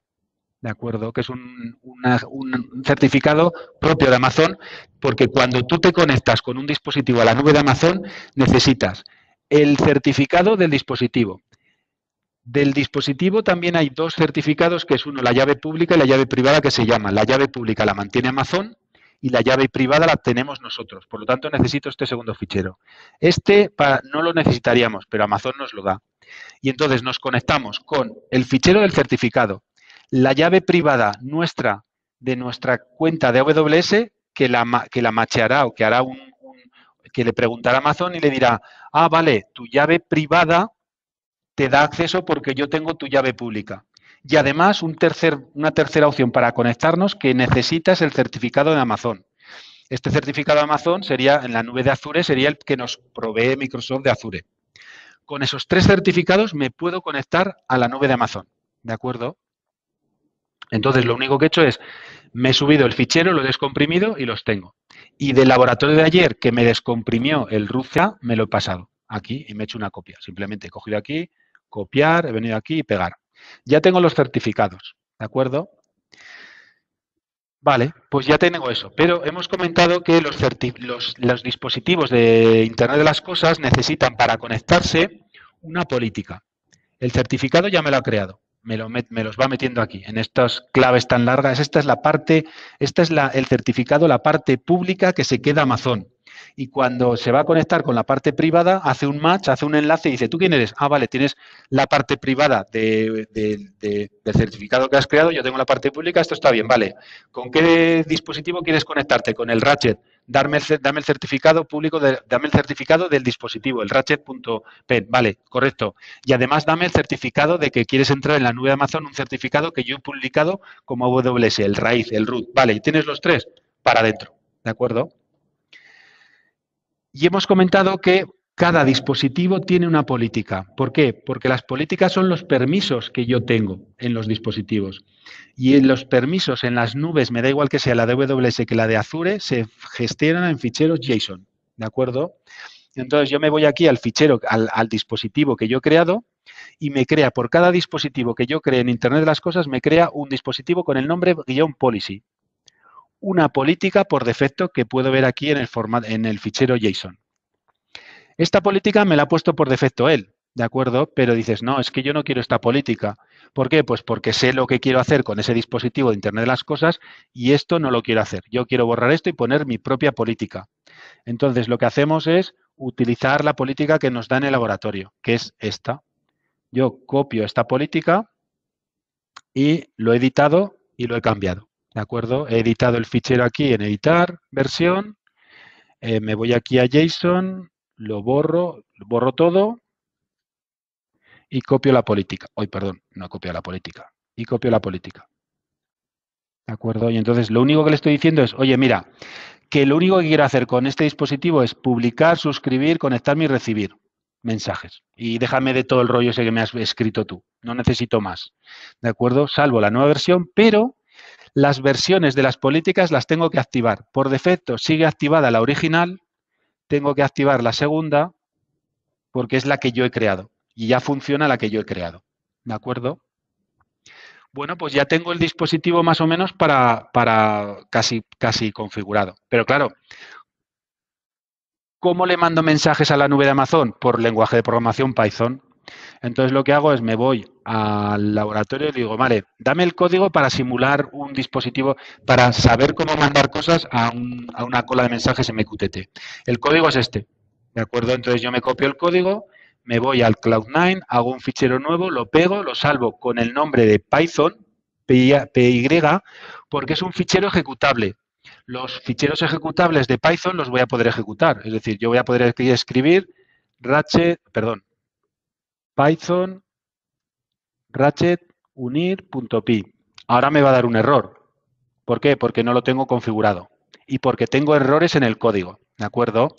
Vamos a, vamos a colocar el código correctamente y vamos a ver que este código de Python es capaz de conectarse a la nube de Internet, a la nube de AWS y de mandarnos unas variables, que estas variables están declaradas aquí. ¿De acuerdo? Y este código estaría embebido en un dispositivo de Internet de las Cosas que estaría en medio del campo, mandándonos la temperatura, por ejemplo, ¿de acuerdo?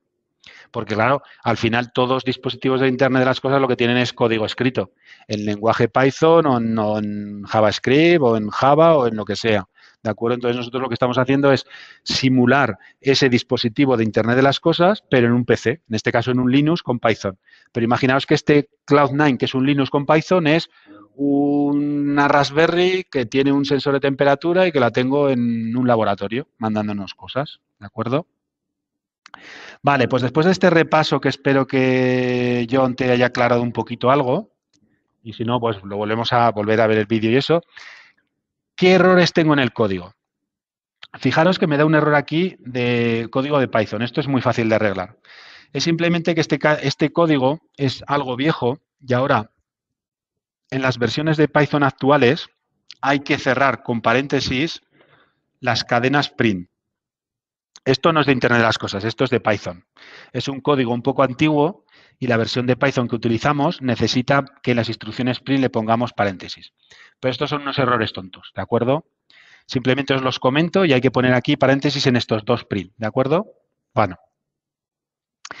Pero, ¿cómo hacemos, que nos, ¿cómo hacemos para conectarnos a Internet de las Cosas? Por un lado, con estas dos líneas. Estos son los certificados. Pero claro, fijaros que aquí nos ha puesto otros nombres. Yo no tengo estos nombres.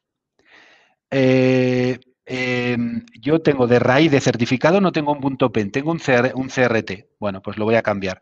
En el caso de Erika sí que tendrá un punto pen porque se habrá bajado un punto pen con la instrucción que le he dado.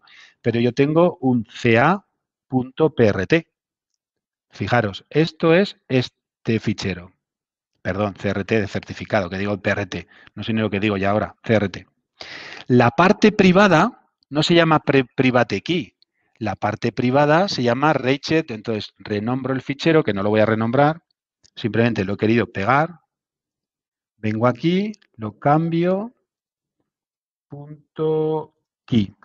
Vale, pues mi parte privada de certificado es esta, ¿vale? Y la parte del certificado es este de aquí.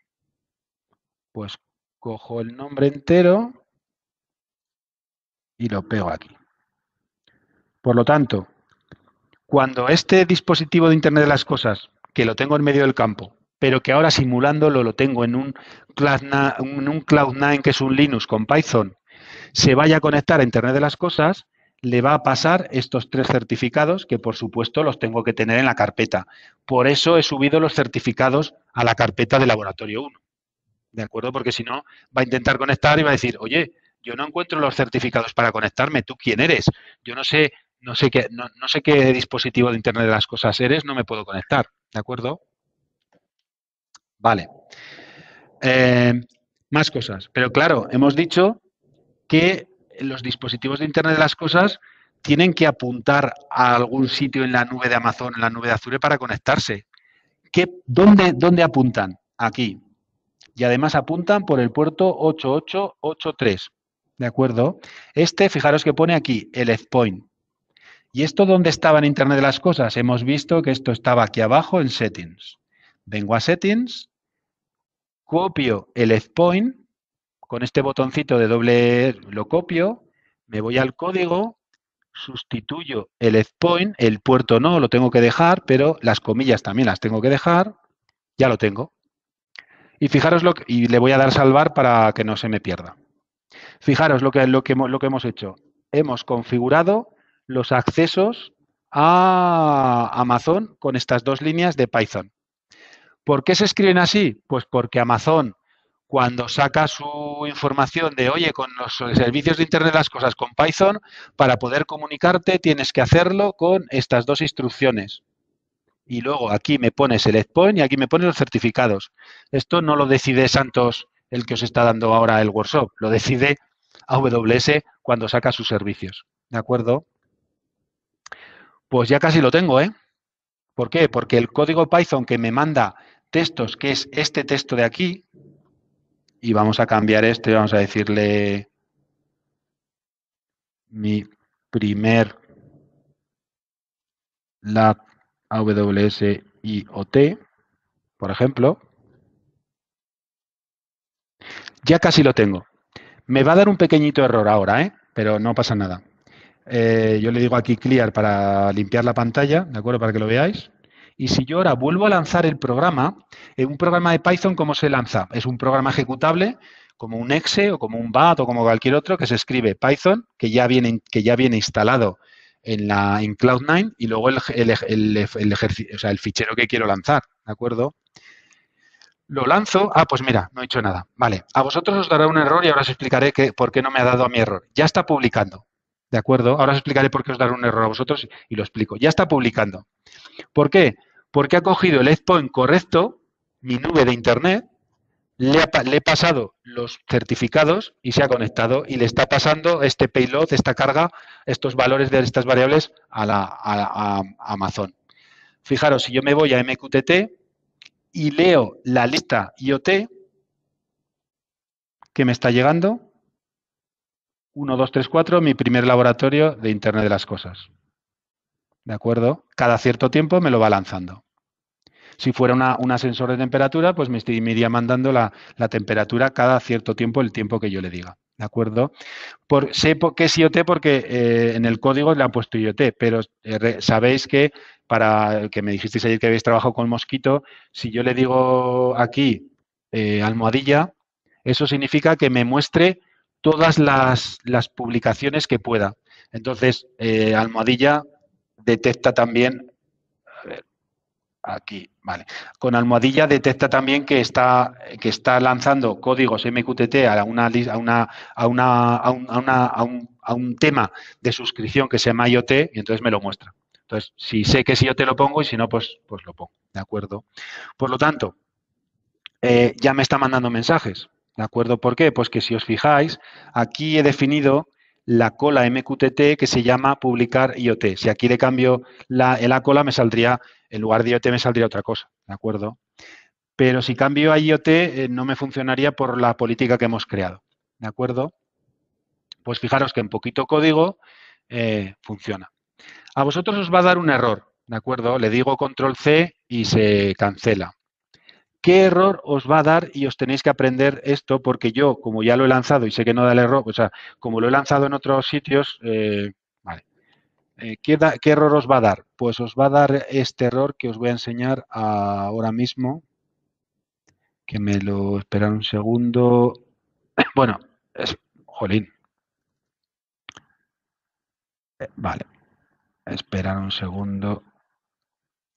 Vale. Vosotros cuando lo lancéis por primera vez, la máquina de Cloud9 da un error. El error que va a dar saldrá un error algo parecido a esto.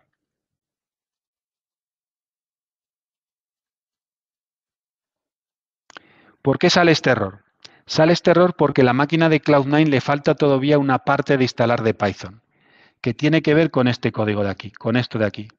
Cuando arranca el programa de Python para simular que nos manda un mensaje, en este caso un mensaje, pero podría ser una temperatura, hace esto y casca en la línea 8. ¿Por qué?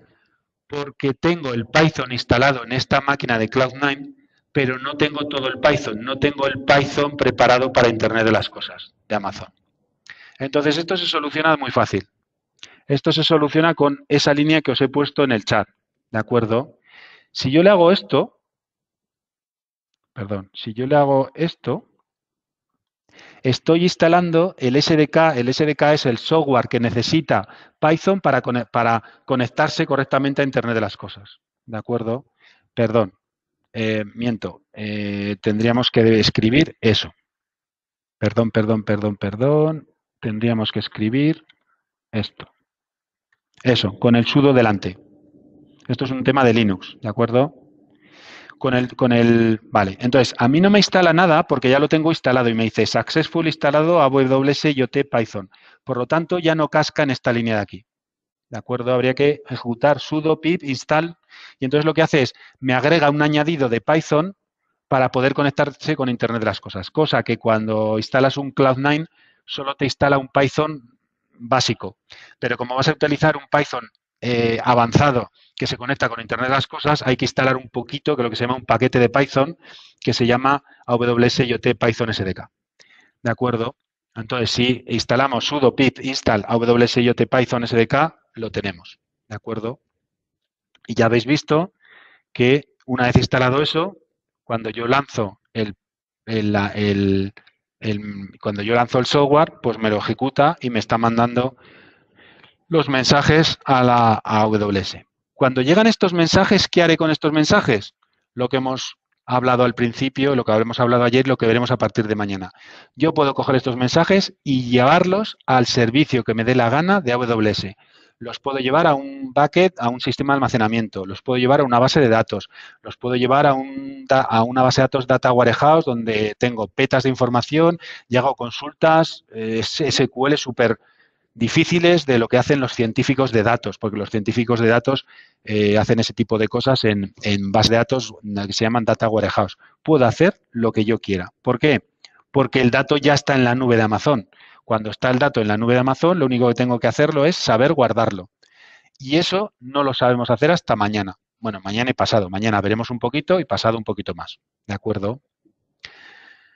Eh, vale esperar que me habéis preguntado algo y he perdido. Bueno, John, vale. A ver, Emilios, vale. Estoy siguiendo para hacerlos en casa. Me decía Cristian, si no tuviéramos el fichero de ayer, ¿cómo se crea? No, el fichero de ayer, vale. Eh, ahora lo cuento. Eh, si no tuvierais el fichero de ayer, como le pasaba también a Erika, recordar que ese fichero root se puede generar también así. No se lo he contado antes a Erika porque le he puesto de, se lo he puesto de otra forma. Pero, fijaros, si yo, si yo entro en el lab 0, que es el de ayer, perdón, tengo un fichero que se llama start.sh. Si yo lanzo este start, jolín,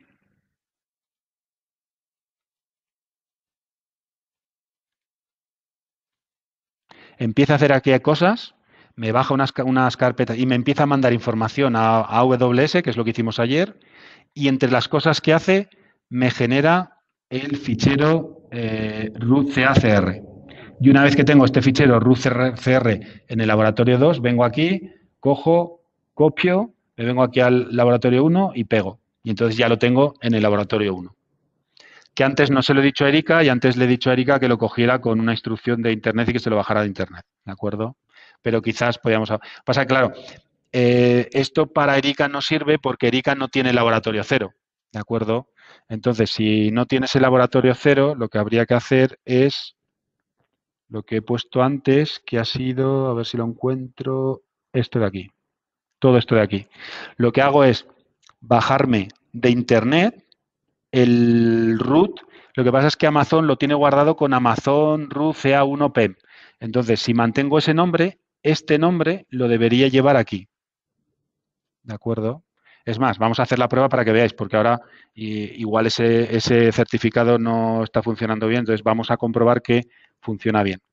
Yo voy a ponerle esta instrucción. Ay, perdón. Esta instrucción y me voy a bajar el, el fichero con el mismo nombre. Amazon root 1.pem. Ya se lo ha bajado. ¿Veis? Ya tengo, eh, incluso aquí a la parte de la izquierda ya lo veis, ¿de acuerdo? Entonces le hago el rename, me cojo el nombre. Este es el certificado raíz, por lo tanto, en el código lo cambiaría por este CRT. Y oficialmente es el mismo. Salvo, lo salvo, y ahora debería de funcionar igual, pero a ver si Amazon me, deja mal y no funciona. Eh, entonces, lanzo el programa, perdón, lanzo Python eh, ratchet, eh, y fijaros que me conecta exactamente igual. Y cuando yo vengo aquí y limpio, me están llegando también los mensajes. ¿Veis? Ah, pues veis, sí que me llegan los mensajes, me están llegando los mensajes, he limpiado la pantalla y me llegan los mensajes, de acuerdo, exactamente igual. Por lo tanto, ya habéis visto que lo único que ocurre es dos formas de bajar el certificado raíz eh, de formas diferentes, de acuerdo. Eh, yo os he dicho que lo hagáis de, que utilicéis el RUCA que hemos cogido del ejercicio de ayer, pero podríamos cogerlo también directamente de Amazon con eh, esta instrucción que es coger coger, la, coger el certificado raíz. Lo que pasa es que en, Amazon le pone este nombre. Eh, y en cambio, si tú te lo autogeneras, le da este nombre. Son cosas de Amazon, ¿de acuerdo? Lo único que tengo, lo único que tengo que saber que es el mismo certificado de forma diferente, aquí en, en .crt y aquí en .pen, y lo único que tengo que hacer es que lo tengo que agregar aquí el primero de todos. Luego tengo que poner la parte privada de mi dispositivo, el propio certificado del dispositivo y el endpoint. Y ya me conecto.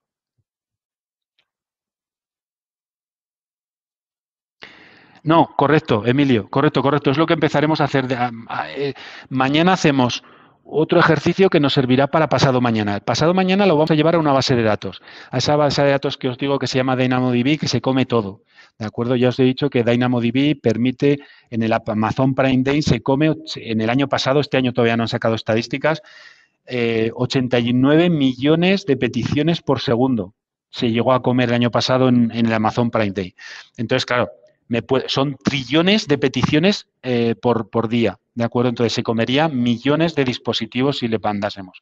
Entonces eso lo vamos a hacer el jueves, pero no sabemos cómo. Entonces lo que vamos a hacer es un ejercicio mañana intermedio para afianzar lo que hemos hecho hoy, para ver una cosa más y el viernes y el, y el jueves lo guardamos en la base de datos también, ¿de acuerdo? Pero sí, sí, lo veremos, lo veremos el jueves. Eh, si, si te fijas, lo que vamos a hacer mañana es vamos a hacer, eh, vamos a hacer parecido, pero mañana os lo, lo, que tengo que explicaros es una cosa que se llaman reglas. Y estas reglas las voy a hacer con de otra forma, ¿de acuerdo? A ver si, bueno, igual el de mañana es un poco complicado, igual, no sé si, depende de lo que me digáis, ¿os habéis, ¿cómo habéis ido? Aparte que me habéis dicho que os habéis perdido un pelín, eh, ¿más o menos habéis seguido el ejercicio? Más o menos, lo digo porque si os habéis perdido mucho, mañana lo podemos repetir y el laboratorio 2 no lo hacemos. Y haríamos el 8, que es justamente lo que me está diciendo Emilio. Pero claro, antes de eso os tengo que contar otro tema técnico que es rules. ¿De acuerdo? ¿Cómo habéis ido? ¿Os habéis perdido mucho? ¿Más o menos lo habéis entendido? Otra cosa es que lo hagáis por vosotros mismos porque hay muchos detallitos hay que conocer. ¿De acuerdo? Pero Emilio los guardamos, sí, sí, no tiene gracia. Y después de guardarlos, Emilio, deberíamos de estudiarlos, hacer la analítica, que, no nos, que en estas ocho horas es imposible. Después de guardarlos, tendríamos que ir a este servicio de IoT Analytics y hacer la analítica de los datos. Porque claro, tú recoges los datos, los guardas. ¿Para qué los guardas? Para estudiarlo. ¿De acuerdo? Entonces lo podemos, lo podemos estudiar de muchas formas. Lo podemos estudiar con consultas o lab en un data warehouse, los podemos estudiar con un programa que yo me he hecho a media medida, los puedo estudiar con programas de, terceros, lo puedo estudiar con programas como se llama QuickSight, una solución de Power BI, de inteligencia artificial de Amazon que se llama QuickSight, es decir, se puede estudiar de muchas formas. Pero sí, sí, o sea, yo configuro los dispositivos, recojo la información, la guardo y luego la estudio. Entonces, ahora mismo hemos hecho las dos primeras partes. Es configuro los dispositivos y mando información.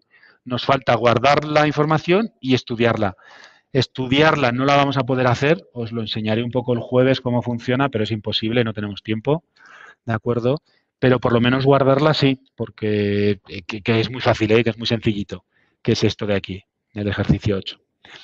Eh, lo que ahora estoy pensando es que si os ha parecido muy difícil el ejercicio, mañana que entraba en juego las colas y esto, no, no sé si lo haremos o no lo haremos. Uh, entero no, no lo sé. Uh, igual no, igual. ¿Cómo habéis ido?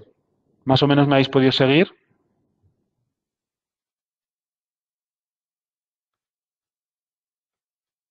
¿Qué tal habéis ido? Le dejo de compartir ya. Eh, no, porque no vamos a hacer nada. Vale, me dice John que más o menos que bien. Bueno, eh, Erika, Erika, Erika nos ha abandonado. Erika nos ha abandonado. Ha debido decir, uy, me veo muy perdida con respecto a lo que hicieron ayer, me voy. ¿De acuerdo? Eh, sí, solo reforzamos volviendo a ver el vídeo. Voy a pedir los enlaces ahora mismo. Eh, solo que requiere, requerimos revisar. Sí, sí, correcto, sí. A ver, Rafael, lo que me estáis pidiendo es normal. Quiero decir, no se puede aprender esto, o sea, más o menos me podéis seguir. La idea era que si fuerais un poquito más o menos, pues, pero claro, si como sois varios y estamos en, en online, si esto estuviera en una clase real, física, claro, os podía atender a, pues te has quedado aquí, te ayudo, no sé qué. Así es un poco más difícil, ¿de acuerdo? Entonces intento ir despacio para que más o menos vayáis todos al mismo ritmo, pero yo soy consciente de que es difícil si no lo habéis hecho nunca y por ahí, ¿de acuerdo? Pero bueno, por lo menos os dais una idea de lo que es, ¿de acuerdo? Ah, vale, correcto, Emilio, vale, perfecto. Vale, vale, vale, vale. No, sí, sí, voy a pedir las grabaciones para que las tengáis, ¿de acuerdo? Eh, a ver, solo por curiosidad, el lunes, bueno, no, os lo doy el jueves. Si queréis el jueves, bueno, el jueves, eh, antes, eh, antes os he enseñado Espera un momento, que vuelvo a compartir. Antes os he enseñado un ejercicio de Internet de las Cosas. Bueno, ¿dónde, he mirado, ¿dónde he mirado lo del certificado que me he ido a bajar antes? Me lo he, mirado en un GitHub mío, que es aquí. Fijaros que lo que he hecho es copiar este fichero. Por cierto, lo voy a editar porque la línea no está del todo bien. Esto es... Eh, vale, eh, root, Ah, vale, no, sí que está bien. Vale, no he hecho nada. Vale, entonces, ¿por qué? Porque en este GitHub que yo dejo aquí, hay un ejercicio de Internet de las Cosas que no me va a dar tiempo a hacer con vosotros sobre un aire acondicionado y un sensor de temperatura. Que fijaros, lo hago con Cloud9 y sin Cloud9. Opción 1 es haciéndolo con Cloud9, que es mucho más sencillo. Y eh, la opción 2 es instalándome una máquina virtual, instalando el Python, teniendo un Linux, instalando el Python, yo bueno, cuesta mucho más. Entonces es más fácil con Cloud9. Fijaros, yo aquí, por ejemplo, hago los certificados de otra forma. Lanzo esta instrucción y me genera los certificados, ¿de acuerdo? Entonces, eh, este ejercicio lo tengo publicado en un vídeo de YouTube que es este. ¿Cómo se hace? ¿De acuerdo? Es esto. Eh, os lo puedo, a ver, os lo voy a poner el último día como curiosidad y estas cosas. No tengo publicado exactamente lo que estamos haciendo hoy. Si lo tuviera publicado exactamente igual, os diría, ostras, pues tomar este enlace y ya está, ¿de acuerdo? Este vídeo que os he pegado ahí es un vídeo que de otra sesión que hice en otro sitio donde hacemos lo que estáis viendo, ¿de acuerdo? Es decir, eh, creamos un aire acondicionado y un, perdón, creamos un aire, un aire acondicionado que asociamos a un aire acondicionado que tuviéramos de verdad, eh, creamos un rociador para, eh, eh, para un, porque simulamos un, humo o lo que sea en una, en una, cocina y mandamos mensajes por MQTT. Y además hacemos más cosas, porque no vamos a llegar a verlo, si acaso mañana, lo, si acaso el viernes lo monto y os lo enseño. yo os explico lo que son los SADOS. En este punto lo que hacemos es, oye, simulamos que apago el aire acondicionado y entonces la temperatura va subiendo en la cocina. Simulamos que damos un, off, perdón, eh, enciendo el aire acondicionado, baja la temperatura. Apago el aire acondicionado, la temperatura va subiendo. ¿De acuerdo? Y eso está todo, eh, perdón, aquí voy a salir aquí, perdón que no, ahí va. Bueno, sí, ya voy a salir porque ya no voy a hacer nada más, ¿de acuerdo? Lo voy cerrando esto. Em, y esto está en este vídeo que os, que enseño aquí porque este, este ejercicio de Internet de las Cosas bastante más complejo de los que estamos haciendo nosotros, lo hice en otro seminario mucho más largo, ¿de acuerdo? Y este sí que lo tengo grabado, hay otros que no tengo grabados, ¿de acuerdo? Igual lo que hago es también, si, bueno, como nos van a dar las, sesiones grabadas, os paso los enlaces y, no hay ningún problema, ¿de acuerdo? Pero este, si le queréis echar un vistazo, por un lado lo tengo en el, en el GitHub, lo tengo más o menos documentado, ¿Dónde está el GitHub? Que lo he perdido. Aquí, no, ahí va. Eh, que he perdido, vale, he perdido el GitHub porque me he pasado el GitHub. Vale, pero de las dos opciones habría que quedarnos con la primera, porque además ya sabéis lo que es Cloud9 y yo lo que haría es seguir estos pasos. Es más, si queréis, esto lo haremos el jueves. Voy a cambiar un poquito la marcha del, del seminario, porque igual si mañana hacemos este 2, os pierdo un poco, ¿de acuerdo? Entonces, voy a hacer, voy a hacer un cambio y era posible que me pasara esto porque yo tenía algo en la, cabeza, pero claro, luego al final yo no sé muy bien cómo vais todos y por ahí. Entonces, vamos a pasar a hacer eh, mañana el laboratorio 8, que lo podemos hacer tranquilamente, ¿de acuerdo? Vemos la opción de grabar datos, ¿de acuerdo? Y el jueves eh, os enseño un par de ejercicios yo sin que, pues, eh, por ejemplo, como este, ¿de acuerdo? Os enseño cómo montar este, os enseño cómo montar este para que luego lo montéis por vosotros. ¿Por qué? Pues porque siguiendo estas cuatro líneas que estoy puesto aquí y siguiendo el vídeo lo podéis montar. Y es un ejercicio bastante más completo de Internet de las Cosas que los que estamos haciendo. ¿De acuerdo? Pero bueno, igual hacemos esa modificación para que veáis otra, alguna otra cosa más y por ahí. ¿De acuerdo? Eh, y poco más. Bueno, ¿Qué tal habéis ido lo que me habéis dicho, más o menos? Me regresáis mañana o mañana voy a estar yo solo, ¿de acuerdo? Espero veros mañana otra vez. A Rafael, a, John, a Paul, Paul, Esteban, que has venido por ahí, que, que no estabas ayer tampoco y estarás un poco perdido. Carlos, Alexander, ¿de acuerdo? ¿Seguimos mañana? Profe, buenas tardes. Hola. No, interesante, interesante lo que hemos visto hasta el momento. De pronto es como la habilidad que nos hace falta de, eh, pues, los comandos que usted maneja. Hmm. Entonces es como lo, pero es entendible, lo que nos está planteando es entendible, es como la comunicación que, se hace con la, la plataforma a través del dispositivo utilizando eh, Linux. Hmm, Hay una serie de comandos que, que, la idea es verlo como con despacio que eh, con los videos de pronto lo, vamos a poder observar. Eh, está interesante la, la, clase, sí, cuente con nosotros el día de mañana. Eh, lo que entendí, a, a, grosso modo lo que yo entiendo es, es como que se comunica con la plataforma de Amazon a través de, puede ser por Windows o Linux, en el lenguaje en el lenguaje, correcto, correcto. Eh, lo estamos haciendo en Linux porque es más fácil daros la plataforma de Cloud9 a los que estuvisteis ayer, eh, por lo que os comento, porque si, por ejemplo, lo hiciéramos con Windows, eh, claro, yo no sé si vosotros en Windows habéis instalado el Python en Windows, entonces me levantaréis la mano y me diréis, a mí no me funciona, a mí no sé qué. Eh, claro, porque cada uno tenéis un Windows y no sé si lo tenéis. Entonces, como en Cloud9 vamos más o menos todos a la par, independientemente de que os haya dado tiempo a hacerlo o no, y como tenéis la plataforma de Academy para utilizarla todo el verano viendo los vídeos, lo podréis reproducir. Y luego eh, ya le comentaré a Miguel Ángel, a Paula, a las personas que han hecho el seminario, que pongan algún sitio en el vuestro, o que me den acceso al que me den acceso al, a vuestro, a vuestro máster para tener acceso a los foros y poderos responder respuestas, de preguntas, perdón, ¿de acuerdo? Eh, y si tenéis cualquier duda, oye, que me he quedado aquí, que me he quedado parado aquí, pues aunque hayamos terminado el seminario, yo me meto y os contesto, ¿de acuerdo?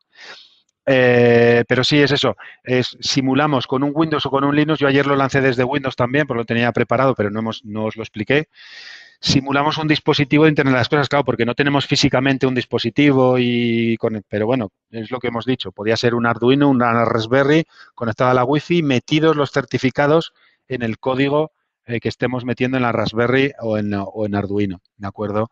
En Arduino se programa en el lenguaje de Arduino, que es una especie de, de C, de C++, de C++, ¿de acuerdo? Y en la Raspberry acepta también Python. Eh, y entonces simulamos ese dispositivo con Linux y entonces lo único que le tenemos que decir es, oye, mira, con esto te conectas a Internet, con los certificados que hemos generado, con el point que te hemos puesto y luego cuando tú pides entrar, con el fichero JSON que hemos modificado de políticas, eso es lo que te va a decir qué es lo que puedes hacer y no puedes hacer en la nube de Amazon. Y es verdad, como me decía antes Emilio, es hemos hecho solo las dos primeras partes, que es crear el dispositivo y mandar datos. Nos falta recoger los datos y analizarlos. Entonces, recoger los datos lo vamos a hacer mañana con una base de datos DynamoDB.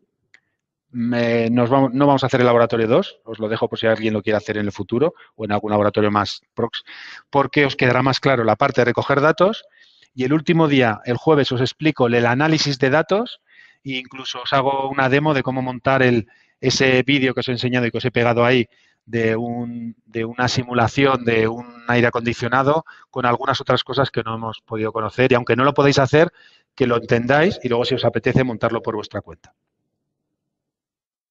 Vale, pues os veo, bueno, voy a parar la, voy a, voy a parar la grabación.